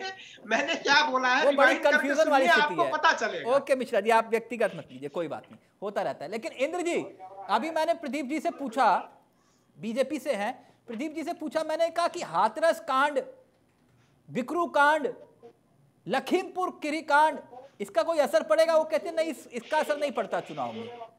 आपको लगता है ऐसा होगा? आप तो खुद किसान नेता हैं। आपने कहा कि वोट की चोट देंगे इन लोगों को। वो कह रहे हैं इन सब बातों का कोई असर नहीं पड़ता। चावला जी बड़े दुखी मन से कहना पड़ता है कि इतने बड़े पैनल में बैठने के बाद जब सामाजिक लोग आकर ये बात कहें और खासकर एक सत्ताधारी राजनीतिक पार्टी से लोग कहें कि हमारे अत्याचारों का समाज पर लोगों पर और देश की राजनीति पर प्रभाव नहीं पड़ता तो आप समझ सकते हैं किस मानसिक के लोग हैं। इनको अपने लोगों का दुख दर्द समझ नहीं आता। आज एक पुलिसकर्मी के बारे में पता लगा कि एक महिला पुलिसकर्मी है। इस इलेक्शन के दौरान आपने देखा कि उसके, उसकी जो लाश है, एक नाले में मिली। जब प्रदेश की पुलिस जो है, सुरक्षित नहीं है, ऐसे में आम जन और देश का किसान, जो लगातार तेरह महीने दिल्ली की दहलीज पर बैठकर देश का नहीं, पूरी दुनिया का ऐतिहासिक आंदोलन लड़ा। उस आंदोलन को उसने जो धैर्य के साथ लड़ा और बिल्कुल पवित्रता के साथ लड़ा, अंत किसान की जीत हुई और सरकार ने वादा किया कि किसानों की जो चार मुख्य मांगे हैं, जिसमें लखीमपुरी कीरी केस पूरे भारत का एकमात्र ऐसा केस है, जिसके अंदर देश का गृह राज्य मंत्री संलिप्त है उसका बेटा उसमें हत्यारा है 302 का पर्चा है आज देश के लोकतंत्र को ही खतरा नहीं। देश की न्यायपालिका को खतरा है। सबसे बड़ा दोषी वो जमानत पे छूट जाता है, उसकी रिहाई हो जाती है और किसानों को जेलों में ठोकने का काम किया जा रहा है। वो निर्दोष किसानों को ठोकने का काम किया जा रहा है, जिसमें चार किसान है, एक पत्रकार भी शामिल है, जो निष्पक्ष बात करता है। आज आप भी निष्पक्ष बात कर रहे हैं, आपको किसी सत्ता से लेना देना नहीं, आपको देश के शासन प्रशासन से लेना देना है। देश की अखंडता से लेना देना है ऐसे में किसी पत्रकार साथी के साथ ऐसा होता हो और वो व्यक्ति जो दोषी हो आज वो जमानत पे आके पूरे देश के सिस्टम को अंगूठा दिखा रहा हो तो ऐसे में इनके प्रवक्ता ये बात बोल रहे हो तो कोई अतिशोक्ति नहीं है। वोट की चोट आप ही ने तो कहा। वोट की चोट आप ही ने कहा ना जनता वोट की चोट देगी। वोट तो लोकतंत्र का वो पर्व है। जिसे आज उत्तर प्रदेश के अंदर तीसरे चरण में लोग मना रहे हैं और लोग जा रहे हैं अपने मताधिकार का जो है पूरा अधिकार जो है तो लेने जा रहे हैं। निरंजन जी आपके पास आ रहा हूँ। प्रदीप जी अपनी बात रखिए। वो ये कह रहे हैं कि नहीं बिल्कुल सुन रहा था। वोट हाँ। की चोट पड़ेगी और किसानों ने तय किया था और उसका आंदोलन का असर दिखाई देगा जो 700 शहादत हुई है। बि... हाँ बिल्कुल वोट की चोट तो हम शुरू से कहते आ रहे हैं कि पंजाब में देखा चंडूरी जी क्या कर रहे हैं? और क्या चल रहा है वहाँ किसान यूनियन का जो चुनाव लड़ रहे हैं राजनीति में? तो पहले कैसे आ, कहता आ रहा हूँ कि ये सब राजनीतिक स्टंट है अपने को चमकाने का। और वो पंजाब में दिख रहा है साहब चीज़ को लेके। देखिए ये जो लखीमपुर की आपने बात करी अगर आपको कानून व्यवस्था पे इतना अगर विश्वास नहीं है क्योंकि आप तो सुप्रीम कोर्ट की बात भी नहीं मानते। और कोर्ट ने अगर उन्हें जमानत दी है तो, तो ये तो कोर्ट ने देख के जमानत दी ना और किस उस पर दिए मुचलके पे वो भी ध्यान देना चाहिए। और अगर आप न्यायालय में विश्वास करते तो जेल जेल भेजा उन पर न्यायिक हिरासत में कितने महीने वो रहे वो भी आपको चीज़ों को देखना चाहिए अगर आप न्यायपालिका पे विश्वास करते हैं। तो टैनी का बेटा चुनाव प्रचार आपने किसानों नहीं? चावला जी किसानों की बात किसानों की बात तो करिए पत्रकार की बात करिए। नहीं नहीं मैं बात भैया साहब मैं तो जी मैं पूछ रहा हूँ वो चुनाव प्रचार में वो टैनी के बेटे को प्रचार में उतारेंगे कि नहीं? मंत्री के बेटे को। नहीं नहीं नहीं। क्या मतलब उतारने का? जो न्यायपालिका में काम कर रहा है हमारे उसको नहीं नहीं नहीं। अच्छा उनको चुनाव प्रचार में नहीं उतारेंगे? नहीं नहीं। तो बेल नहीं नहीं बिल्कुल नहीं हाँ नहीं। अच्छा नहीं उतारेंगे। क्यों ऐसा क्यों? नहीं नहीं हमारे नहीं। देखिए ये कानून व्यवस्था है चुनाव प्रचार में मुजरिमों को नहीं उतारा जाता है उन पर जब चीज़ें तो कार्य प्रणाली चल रही है आप कह रहे हैं ना कि भैया कम से कम। उनको नहीं उतारेंगे चुनाव प्रचार में? देखिए चुनाव प्रचार में जो चुनाव प्रचार कमेटी बनी है वो चुनाव प्रचार कर रही है ये चुनाव प्रचार में ऐसी चीज़ों को नहीं उतारा था और खासतौर पर जब जिसपे न्याय अच्छा। प्रणाली का काम चल रहा है अभी अभी देखिए मैं थोड़ा सा किसान मेरे नेता बोल रहे थे अभी चडूनी जी के बारे में तो बोलेंगे नहीं जो क्या कर रहे हैं पंजाब में किसानों हाँ। के साथ पहली चीज़ आपने लखीमपुर की बात करी चार किसानों की बात करी पत्रकार की बात करी जो ड्राइवर चार लोग अलग से मार दिए गए तीन चार लोग डंडे से उनके बारे में क्यों नहीं बोलते आप लोग? क्या वो किसी के बच्चे नहीं, नहीं थे? नहीं वो वो क्या आप कानून जो हाथ में लिया गया उसके बारे में कभी मुँह से आवाज़ नहीं निकलती? हत्याकांड था वो हत्याकांड था साजिश थी एसआईटी ने बताया था ना साजिश थी। मैं भी वही कह रहा हूँ साजिश थी वो। एसआईटी नहीं बताया था ना सर साजिश थी। हाँ और ये सही कह रहे हैं उजागर हुआ। बिल्कुल सही कह रहे देखिए अगर बात देखो जान जिसकी भी गई चाहे वो पद्रवी था चाहे वो किसान था जिसकी भी जान गई पत्रकार गई वो कानून के जिसने भी कानून का उल्लंघन करा कानून का काम है उसको कानून प्रणाली के हिसाब से उसको सजा मिलनी चाहिए। मगर जो किसान नेता जितने बैठते हैं साथ में वो कभी इस विषय नहीं बोलते कि जिसका बच्चा मरा है उसको भी व्यवस्था कानून की मिलनी चाहिए उसको भी न्याय चाहिए मैं आपके पास जाऊँ। AK Mishra AK Mishra react करना चाह रहे हैं। जी 30 सेकंड और एक दूँगा मैं, 30 ओके एक सेकंड एक सेकंड कानून की बात करते हैं आप ईमानदारी से बताइए 30 सेकंड में जितेंद्र होना। सिंह विर्क को अभी तक सुरक्षा क्यों नहीं मुहैया कराई गई? सर सर देखिए मैं उस खबर को बहुत शिद्दत के साथ उस खबर को दर्शकों के बीच में लेकर आया था। एक किसान नेता गुहार लगा रहे थे सुरक्षा की। न्यूज़ वाली इंडिया की टीम अपनी ज़िम्मेदारी का एहसास करते हुए रुद्रपुर और यूपी जो कि उत्तराखंड और उत्तर प्रदेश का बॉर्डर है वहाँ पर जाके उस स्टोरी को कवर करके लाए थे हम।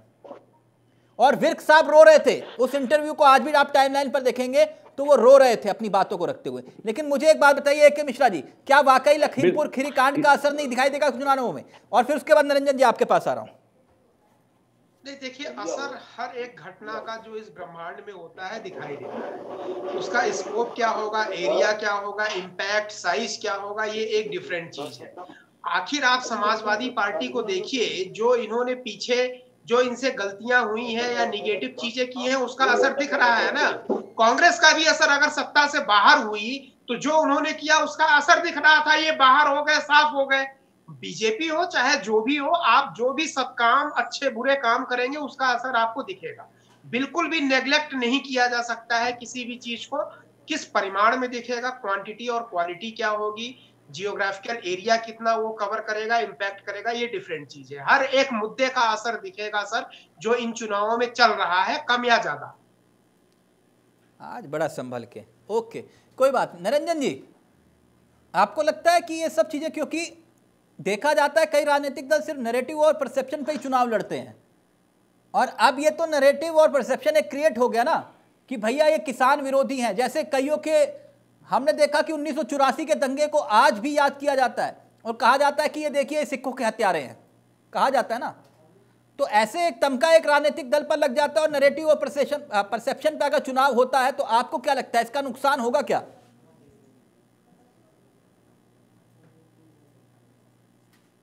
निरंजन जी का देखिए तिलक जी ऐसा है मैं जी जी तिलक जी मैं जब बात करूँगा तो मुझे फिर नागपुर से प्रभावित बताया जाएगा पता नहीं क्या क्या कहा नहीं जाएगा नागपुर लेकिन वाला चश्मा तो बताना ए के मिश्रा जी के लिए कमेंट आया था आपके लिए नहीं आया था। वो कह रहे थे कि नहीं हाँ, उससे पहले आपके पास जो भार्गव जी थे ना उन्होंने मेरे मेरे ऊपर ये कमेंट किया था। हाँ वो नागपुर देखिए ऐसा है कि कि किसान आंदोलन जब चल रहा था और उसके बाद में की जो तमाम गतिविधि हम अगर पिछले डेढ़ साल की देखें इस किसान आंदोलन की तो आज ये सर्व सर्व विदित है और एकदम जग ज़ाहिर हो गया है कि ये चाहे आंद, किसान आंदोलन था ये सब एक राजनीति से प्रेरित था। कहीं अगर देखिए जैसे अभी एक किसान नेता बोल रहे थे आप ही के हमारे पैनलिस्ट है साथ में तो मैं एक चीज़ मेरे को आज तक समझ में नहीं आई कि जो किसानों की दुर्दशा उत्तर प्रदेश के अंदर है उससे ज़्यादा दुर्दशा अन्य प्रदेशों में जहाँ पे भारतीय जनता पार्टी की सरकार नहीं है। क- मैं कांग्रेस कांग्रेस शासित राजस्थान की बात करता हूँ। राजस्थान के उसी दिन राजस्थान के किसानों के ऊपर लाठियाँ चलाई जाती हैं और वहाँ कई कई किसान नेता कई किसान घायल हो जाते हैं। तो उनके ऊपर किसी किसान नेता ने कोई कोई टिप्पणी नहीं की वहाँ कोई आंदोलन की बात नहीं की। तो क्या जितना जो भी किसानों को दुख दर्द है केवल उत्तर प्रदेश के किसानों का ही दुख दर्द है क्या? तो कहने का तात्पर्य ये है कि देखिए ये एक चीज़ को आप देख ही रहे होंगे। आज भी राजस्थान के अंदर किसान किस तरह से किस तरीके से वहाँ की सरकार से संघर्षरत है लेकिन आज तक कोई भी किसान नेता राजस्थान गया है क्या? ये ये जिस तरीके से बीजेपी दरअसल आप ये कह रहे हैं किसान नेता नहीं है बीजेपी विरोधी हैं। नहीं नहीं, देखिए, ऐसा है, निश्चित रूप से राजनीति के अंदर घात प्रतिघात होते हैं। आपने देखा होगा कि 2012-13 के अंदर भारतीय जनता पार्टी और या यूँ कहें कि संघ परिवार ने भी अन्ना हजारे और ये जो काला धन मूवमेंट के ऊपर उनके कंधे पे रख के बंदूक चलाई थी और कांग्रेस को किस तरीके से इन्होंने पदच्युत किया था, वैसे ही आज कदाचित ये देखिए राजनीतिक पार्टियाँ मैं तो सीधी स्पष्ट भाषा में कहूँगा तिलक जी किसी को अच्छा लगे बुरा लगे जितनी राजनीतिक पार्टियाँ हैं ये अब जनता के अंदर अपना भरोसा खो चुकी है और जनता को ये। आंदोलित करने के अंदर बिल्कुल निष्फल रही है। मैं दस सेकंड में कंप्लीट कर दूँ। मैं दस सेकंड मैं दस मैं दस सेकंड कंप्लीट कर दू तिलक जी। तो आज इनको कहीं ना कहीं कोई ना कोई कंधा इनको इस्तेमाल करना पड़ता है।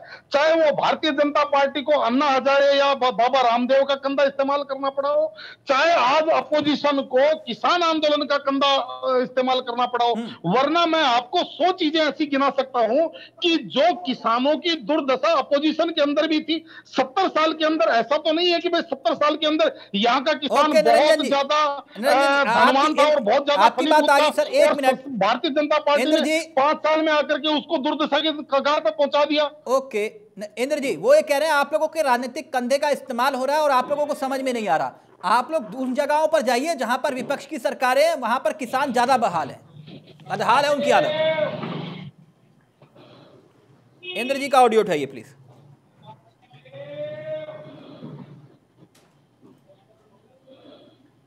देखिए, चावला जी, मैं जो है, अपने साथी बोल रहे हैं, निरंजन जी, इनकी बात से मैं इतफाक नहीं रखता।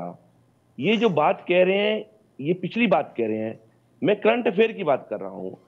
जब देश के अंदर फ़सल और नस्ल बचाने की बात आई तो उसके लिए किसान सड़कों पर उतरकर दिल्ली की ओर भागा। वरना किसान हमेशा अपने प्रादेशिक मसलों को प्रदेश में सम, उसने को उसको संभाला है। आपको पता होना चाहिए कृषि जो है प्रदेश का मुद्दा है केंद्र का मुद्दा नहीं है। केंद्र सरकार ने साजिश के तहत आज कृषि को केंद्र की ओर ले जाकर किसानों के जमीनों को लूटने का जो काम किया, घोर कृत्य किया, उसको किसानों ने उजागर किया बड़ी बड़ी कंपनी के साथ मिलकर इस देश के किसान को मजदूर बनाने का, जो बदवा मजदूर बनाने का काम किया, वो किसान ने उजागर किया।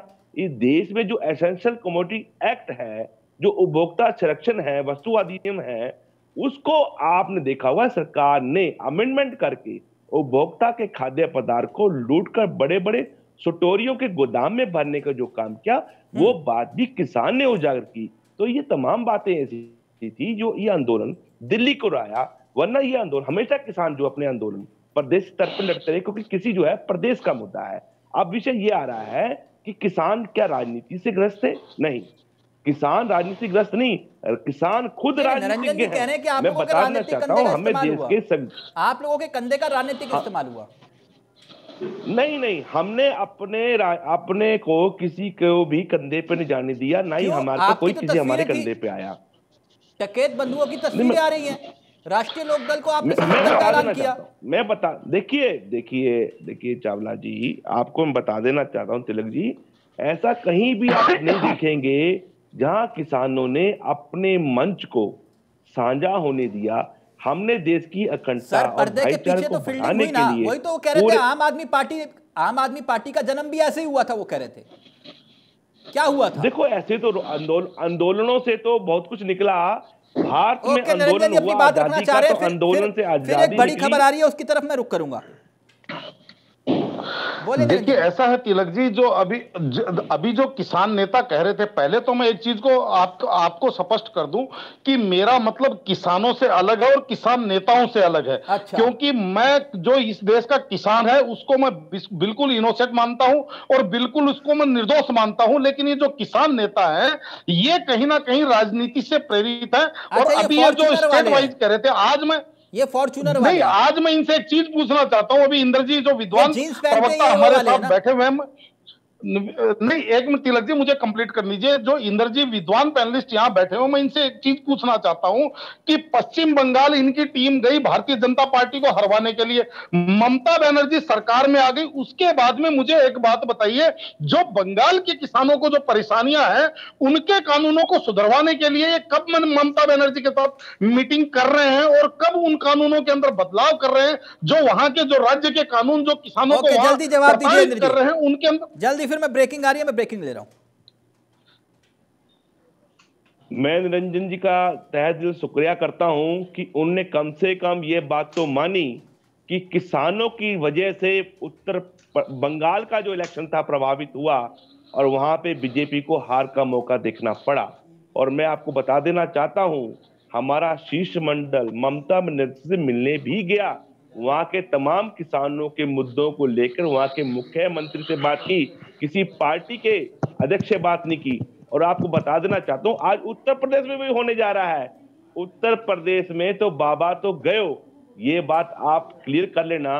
जिस प्रदेश के मुखिया को यह नहीं पता कि मेरे प्रदेश के कितने लोग इस आंदोलन में तो आप को जी को प्राप्त आप हो कमेंट गए क्यों कर रहे हैं? उसे राज करने का वो बीजेपी के नेता थोड़ी ना आप इस तरह से कह रहे हैं। वो बीजेपी के नेता नहीं वो राजनीतिक विश्लेषक है। बीजेपी वाले प्रदीप जी है। नहीं नहीं नहीं मैं उनकी बात की सराहना करता हूँ कम से कम उन्होंने इस बात को माना इस देश के बुद्धि जो है वर्ग ने इस बात को आज माना तक जो है आदरणीय राकेश टिकैत जी भी नहीं बता पाए जो आप सवाल पूछ रहे हैं अंदर जो राहुल गांधी जी भी बैठे थे वो भी नहीं बोल पाए। आज तक राकेश टिकैत जी भी नाम नहीं बता पाए। 700 किसान कभी पूरे संख्या नहीं बता पाते कभी 800 जाते कभी साढ़े सात सौ और कभी 700 राकेश प्रदीप जी नहीं बता पाए आज प्रदीप जी प्रदीप जी थोड़ा सा आपने जो बंगाल की बात छेड़ी इस समय सत्ता के अंदर बंगाल है। की बात साहब आपने बंगाल की बात जो छेड़ी मैं बता रहा हूँ बताइए एक आम आदमी एक साधारण तो आदमी बंगाल पहली बार प्रदेश के बारे में तो- क्या आंकड़ा दे सकता है? हमारे पास कोई सरकारी मशीनरी है? क्या हमारे पास सरकारी हूँ, अस्पताल है? हमारे पास प्रदेश की पुलिस है जो ये जी। भरेगी इस तरह से वो नहीं रोज़गार आंदोलन में शहीद हो गए। इंद्र जी इंद्र ये काम तो प्रदेश सरकार का है। प्रदीप जी कोरोना में ऑक्सीजन की कमी की वजह से कितने लोगों की मौत हुई आप भी तो नहीं बता पाए ना सर? है ना? सर मैं मैं तो कोरोना पे ही बोलूँगा अभी जो किसानों के विषय पे था वो भी है। अच्छी बात करिए मैं तो कहूँगा आप तो बंगाल गए ठीक है ओके जालौन से खबर आ रही है। जालौन से जालौन से खबर आ रही है प्लीज़ जालौन से खबर आ रही है उस खबर को प्ले करिएगा। जालौन से खबर आ रही है जहाँ पर मतदान करते मैं मैं अलविदा लेना चाहूँगा इजाज़त लेना चाहूँगा आपकी। ओके ओके सर जालौन में चुनावी आचार संहिता का उल्लंघन का मामला सामने आया है। मतदान करते हुए ईवीएम का वीडियो वायरल हुआ है। जिसका ज़िक्र किया जा रहा है। इस खबर की पुष्टि हम नहीं कर रहे, वीडियो वायरल हुआ है। इस खबर की पुष्टि हम नहीं कर रहे, जिला प्रशासन बताया जा रहा है, जाँच में जुटा हुआ है। माधोगढ़ का मामला बताया जा रहा है और जालौन का ये पूरा का पूरा वाक्य है, जहाँ पर मतदान करते हुए ईवीएम ईवीएम का वीडियो वायरल हुआ है और बकायदा एक प्रत्याशी के पक्ष में वोटिंग करने की अपील की गई है। वीडियो वायरल हुआ है, इस बात की पुष्टि न्यूज़ वर्ल्ड इंडिया नहीं करता है और बकायदा इस तरह के वीडियो वायरल किए जा रहे हैं। इस पर इस पर चुनावी आचार संहिता का उल्लंघन माना जा रहा है और बकायदा वोट देने की अपील इस तरह से की जा रही है। यह वीडियो वायरल हो रहा है और इस पर एक्शन लेने के मूड में जिला प्रशासन दिखाई दे रहा है। मोहम्मद हमारे साथ हमारे सहयोगी जालौन से जुड़े हैं। मोहम्मद क्या है ये पूरा मामला? जी जी ये पूरा मामला जालौन के माधोगढ़ का है जहाँ पर किसी सपा वोटर ने इसको वीडियो को वायरल करा है। वहाँ के जो राघवेंद्र सिंह हैं उनका सपा से जो प्रत्याशी उनका उनको वोट डाला और वोट डालने के वीडियो वायरल किया। है जिला प्रशासन की तरफ़ से क्या कार्रवाई की जा रही है? जिला प्रशासन पूरी तरीके से जाँच में जुटा हुआ है और जो भी इसमें दोषी पाया जाएगा उसके खिलाफ कार्रवाई होगी। क्या आरोपी गिरफ़्तार हो पाया? मतलब कि आरोपी रडार पे आ पाया? जी अभी तक कोई आरोपी गिरफ़्तार नहीं हो पाया है। पुलिस में जाँच में जुटी हुई है। जिला प्रशासन बहुत ज़्यादा सक्रिय है। जाँच में जुटा हुआ है। ओके जालौन से मेरे पास एक और खबर आ रही है। मोहम्मद उसको भी क्लियर करना। कालपी विधानसभा में एक गाँव है जहाँ पर चुनाव के बहिष्कार का मामला सामने आया था। और कालपी में ग्रामीणों का कहना यह है कि पिछले 20 सालों से आश्वासन मिलता रहा, नेताजी आश्वासन देते रहे, विकास से वंचित और अब उन्होंने जालौन में सड़क ना होने पर वोट ना डालने का ऐलान किया। कालपी और ग्राम पंचायत जगतपुर का मामला बताया जा रहा है। क्या आपके संज्ञान में है ये मामला? जी जी मैं बता दूँ, ये पूरा मामला ग्राम जगतपुर पर है, जहाँ पर वोटरों का कहना है कि 20 साल से यहाँ पे रोड नहीं डली हुई इसलिए रोड नहीं तो वोट नहीं का उन्होंने नारा दिया है। हम्म। और बहुत मिन्नतों बहुत मेहनत के बाद फिर जिला प्रशासन वहाँ पहुँचा उन्होंने वोट डालने की अपील की तो ग्रामीण इसमें मान गए। ग्रामीण मान गए लेकिन इस बार जो है बहुत सारी और हर बार इस तरह की तस्वीरें सामने आती हैं। बहुत बहुत शुक्रिया। मोहम्मद हमारे साथ हमारे सहयोगी ग्राउंड ज़ीरो से जुड़े हुए थे और सुबह से नॉन स्टॉप हमारे तमाम सहयोगी पल पल की खबर आप तक पहुँचा रहे हैं और इसी तरह ग्राउंड ज़ीरो से लगातार वो हर खबर को आपके लिए ब्रेक कर रहे हैं। उत्तर प्रदेश के चुनाव के तीसरे चरण का मतदान और लगभग 60 सीटों पर ये उनसठ सीटों पर यह मतदान अभी भी जारी है। और अनुराग ठाकुर का बयान सामने आया। अनुराग ठाकुर क्या कुछ कह रहे हैं? आइए जरा, वो भी आपको सुना देते हैं और फिर उसके बाद सीधा रुख करेंगे अपने मेहमानों की तरफ़।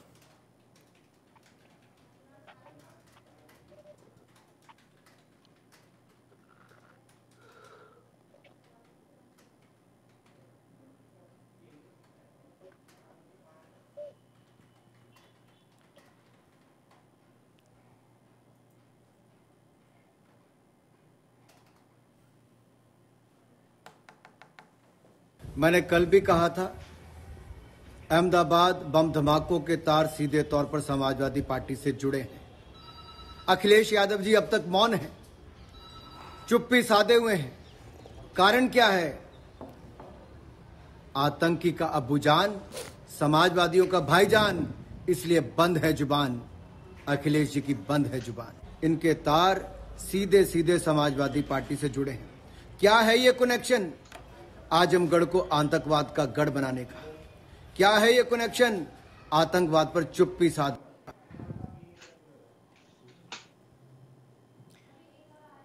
तो चलिए सीधा रुख करें अपने मेहमानों की तरफ़। ए के मिश्रा जी, आपसे जानना चाह रहे थे ये आतंकियों के अब्बा जान, भाई जान, ये सब कुछ चल रहा है। इसका असर पड़ेगा जो तुष्टिकरण की बात की जा रही थी?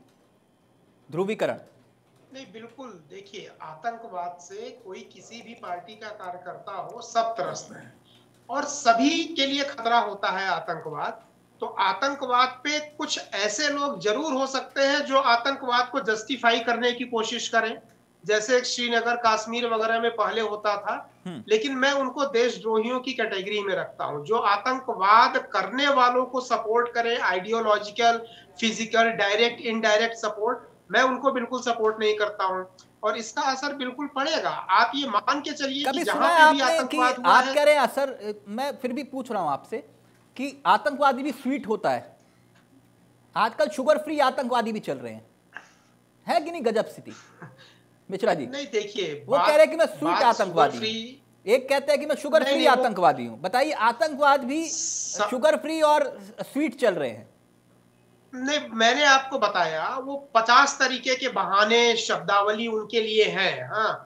Good terrorist bad terrorist sweet terrorist hard terrorist वो सारी चीज़ें। मैं तो देश के और देश की विचारधारा के खिलाफ अगर किसी की आइडियोलॉजी है, विचार है तो मैं उसको आइडियोलॉजिकल टेररिज्म मानता हूँ आइडियोलॉजिकल टेररिस्ट मानता हूँ। जो यहाँ के इस देश के सिद्धांतों का विरोध करे बोले कि ये तो गलत है यहाँ की मान्यताओं यहाँ की परंपराओं रीति रिवाज धर्म इन सब चीज़ों को जो विरोध करे मैं उनको आइडियोलॉजिकल टेररिस्ट मानता हूँ। हर लेवल पे टेररिज्म को जवाब जनता देगी। बहुसंख्य जनता टेररिज्म को बिल्कुल भी पसंद नहीं करती है चाहे वो स्वीट हो शुगर फ्री हो आइडियोलॉजिकल हो हार्डकोर हो गुड हो बैड हो जैसे भी हो। और आतंकवाद बहुत बड़ा मुद्दा था बन चुका था और अभी भी है। अगर आतंकवाद की बात चलेगी तो बहुत तेज़ी से पोलराइजेशन हो जाता है। जनता को सुरक्षा चाहिए ही चाहिए। आप किसी से भी पूछ लीजिए वोटर से वो बोले कि भाई हम आपको मुख्यमंत्री बना देंगे। आप आतंकवाद को परमिट करोगे अपने घर में अपने ज़िले में? कोई आदमी नहीं बोलेगा कि मैं आतंकवाद की पैरवी करता हूँ। इवन वो भी नहीं बोलेंगे जिन जिन अड़तीस लोगों को आतंकवादियों को फांसी मिली है ना? उनके अब्बा जान भी नहीं बोलेंगे कि हाँ भाई मैं सपोर्ट करता हूँ। आप जाके पूछ लीजिए। ओके जयसवाल जी रिएक्ट करना चाह रहे हैं फिर मैं इंद्र जी आपके पास आ रहा हूँ। बोले जयसवाल जी क्या कहना चाह रहे हैं? अनम्यूट कर लीजिए सर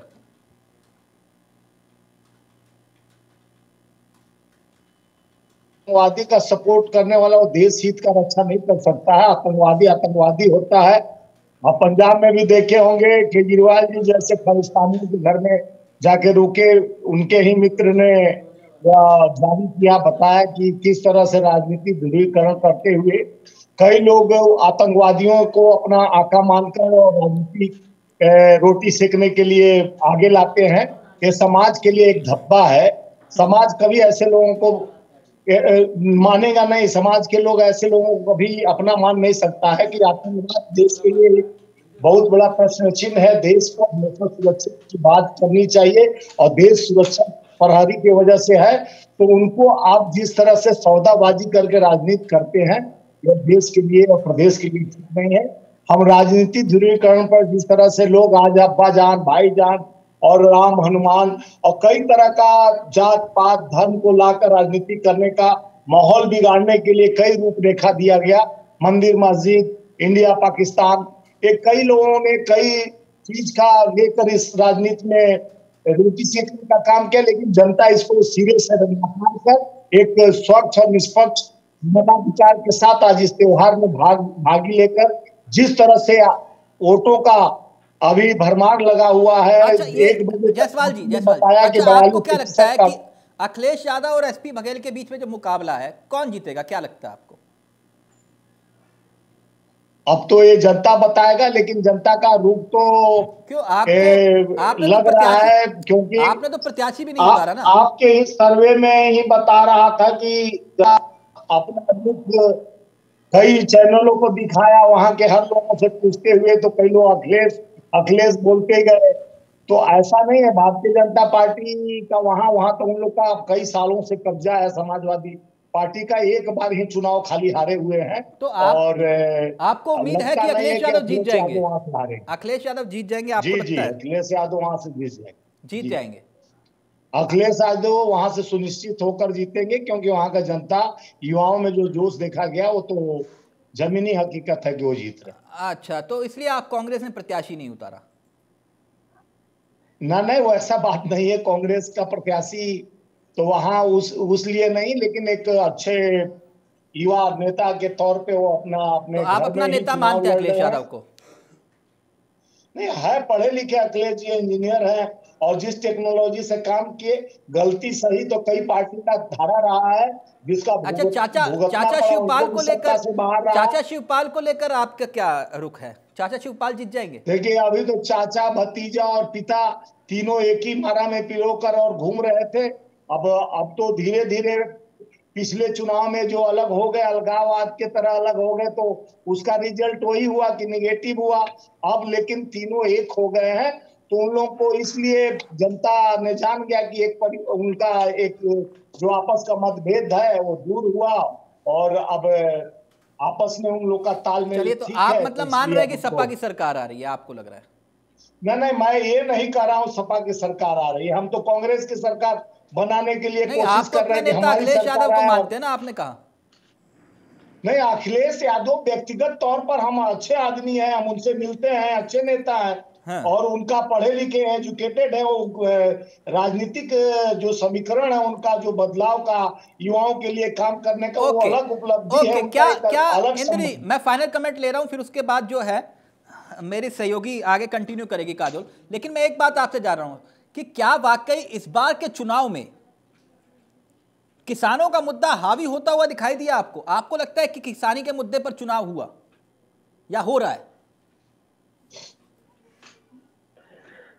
देखिए जो चुनाव है किसानों के मुद्दे पर नहीं होकर किसानों की वोट लेने की चुनाव ज़रूर हो रहा है। हम्म। ये आप समझ सकते हैं। हम्म। अभी तक देश के अंदर आज हम पचहत्तरवीं देश की आज़ादी की वर्षगांठ मना रहे हैं अभी तक केंद्र की राजनीति के अंदर प्रदेश की राजनीति के अंदर किसान मुद्दा नहीं रहा। ये आंदोलन से लाभ लेने की ज़रूर हर सियासी पार्टियों में रसाकसी चल रही है। किसान इस बात को समझ रहा है और उत्तर प्रदेश के अंदर एक बहुत बड़ा परिवर्तन होने जा रहा है। वो परिवर्तन आप और हम सब मिलकर देखेंगे। नहीं नहीं मिश्रा जी लगातार कई मंचों पर यह बात कहते हुए आए हैं कि आप लोग फॉर्च्यूनर वाले किसान नेता हैं। आप लोगों को किसानी से कोई मतलब नहीं है। आपको आप लोगों आप लोगों को अपनी राजनीतिक दुकान चलानी है। यही बात कहते थे ना मिश्रा जी आप? नहीं नहीं मैं बिल्कुल सहमत हूँ। किसान आंदोलन को जो जिन मुद्दों को लेके हुआ मैं उसको फेवर नहीं करता हूँ। न करता था न करता हूँ। बिल्कुल ये उसी बयान पे अड़े हुए हैं जो कदाज मिश्रा जी बोल रहे हैं कि ये काले कानून फिर पुनः आ सकते हैं सत्ता में आने के बाद। नहीं कानून काला था या सफ़ेद था उस पर हमने बहुत डिबेट की है। अब कौन नहीं समझ पा रहा है वो एक डिफरेंट चीज़ है। लेकिन हाँ ठीक है। बिल वापस हुआ नहीं हुआ क्या हुआ वो अलग चीज़ है। लेकिन ये मिश्रा जी आप देखिए इस देश के किसान ने लोकतंत्र को बहाल किया। इस देश के किसान ने इस देश के अंदर लोकतंत्र को पुनः मज़बूत किया। आप देख सकते हैं कि आप चोर रास्ते से जिस तरीके से अध्यादेश लाकर इस देश के ऊपर आपने काले कानून थोपने का काम किया किसान ने संसदीय प्रणाली का सहारा लेकर इस शांतिपूर्ण आंदोलन से ऐसे कानूनों को काले कानून को वापस लाने का काम किया। वो प्रधानमंत्री जो कहते हैं आप कहते थे कि नरेंद्र मोदी जी कभी भी कोई कानून वापस नहीं ले सकते जो कह दिया कर दिया। आज किसान ने ये बात मनवा डाली कि देश की जनता जब अपने आई पे आती है तो ऐसे लोगों को पीछे कैसा देखना पड़ता है। अपना चेहरा चमका लीजिए। आप बताइए ना एसेंशियल कम्युनिटी एक्ट में क्या किया आपने? ही नहीं पता है। आप ही पढ़े लिखे बैठे हैं। आप ही पढ़े लिखे बैठे अरे बताइए ना। आप ये बताइए ना ईमानदारी से कि काला कानून क्या नहीं है? एसेंशियल कम्युनिटी काला बाजारी को रोकने के लिए प्रावधान था। आपने खुला बाज़ार कर दिया। आप आप मुझे ये बताइए इसेंशियल कमोडिटी कितनी चीज़ें आप प्राइवेट दुकानों और प्राइवेट कंपनी से खरीदते हैं जो आपके लिए इसेंशियल मिल्क है इसेंशियल कमोडिटी है। वो किसान देती है कि एनडीडीबी और अमूल का ब्रांड वो भी तो प्राइवेट कंपनी कारपोरेट अरे वाह वाह डिब्बा का दूध पीते हैं क्या पूरा देश का लोग? अरे डिब्बा का दूध पीते हैं पूरे देश का लोग। अरे कहा बात कर दिया आपने यार? पाउच का दूध कौन पीता है? अरे अरे पाउच वाले दूध पहुँच जाइए हम समझ रहे हैं हम समझ रहे हैं। पूरे देश को आप एक लीटर से सीटी के अंदर लाना चाहते हैं। आप पाउच के अंदर लोग को बांधना चाहते हैं। आप कंपनियों के साथ मिलकर यही है। आप देश के अंदर दलाली करने निकले हैं। आप देश को बेचने निकले हैं। आप प्रचार कीजिए आप प्रचार कीजिए। कंपनी का आप क्योंकि कंपनी के नुमाइंदे ही आप लोग इलेक्शन लड़ा रहे हैं। आप देश के अंदर लोकतंत्र को बेचने का काम कर रहे हैं। अरे बताइए अरे डिब्बे वाली बात करती ना लग गया पता लग गया पता आप किसान का खुला उत्पाद बिकने नहीं देना चाहते। आप कंपनी का ही दूध दे सकता है। एक गुवाला दूध वाला जो गाँव से दूध लेकर शहर की ओर जाता है उसका दूध नहीं बेचने देना चाहते हैं आप। अरे आप एक किसान जो गुड़ बेचता है बनाकर उसका गुड़ नहीं बेचने देना चाहते। हैं एक किसान जो है जो गाँव में देहात में लगाता है वो रेडी पे ना बेच सके वो आप रोकना चाहते हैं। हम समझ रहे हैं। आप बड़ी बड़ी कंपनी के दलाली में बैठे हैं। इसलिए आप ना ना व्यक्तिगत नहीं प्लीज़ व्यक्तिगत नहीं प्लीज़ लगातार ये कवरेज जारी है। Mishra ji thank you so much बहुत बहुत शुक्रिया इंद्र जी आपका भी और जयसवाल जी आपका भी बहुत बहुत शुक्रिया। चलते चलते लगातार फटाफट खबरें हम आपको छोड़ के जा रहे हैं और इसके बाद मेरी सहयोगी काजोल आपके साथ आगे इस कार्यक्रम को बढ़ाएगी। लेकिन पहले ये फटाफट जो खबरें इस वक्त चुनाव से जुड़ी हुई खबरें आ रही हैं, उनको प्ले करिए प्लीज़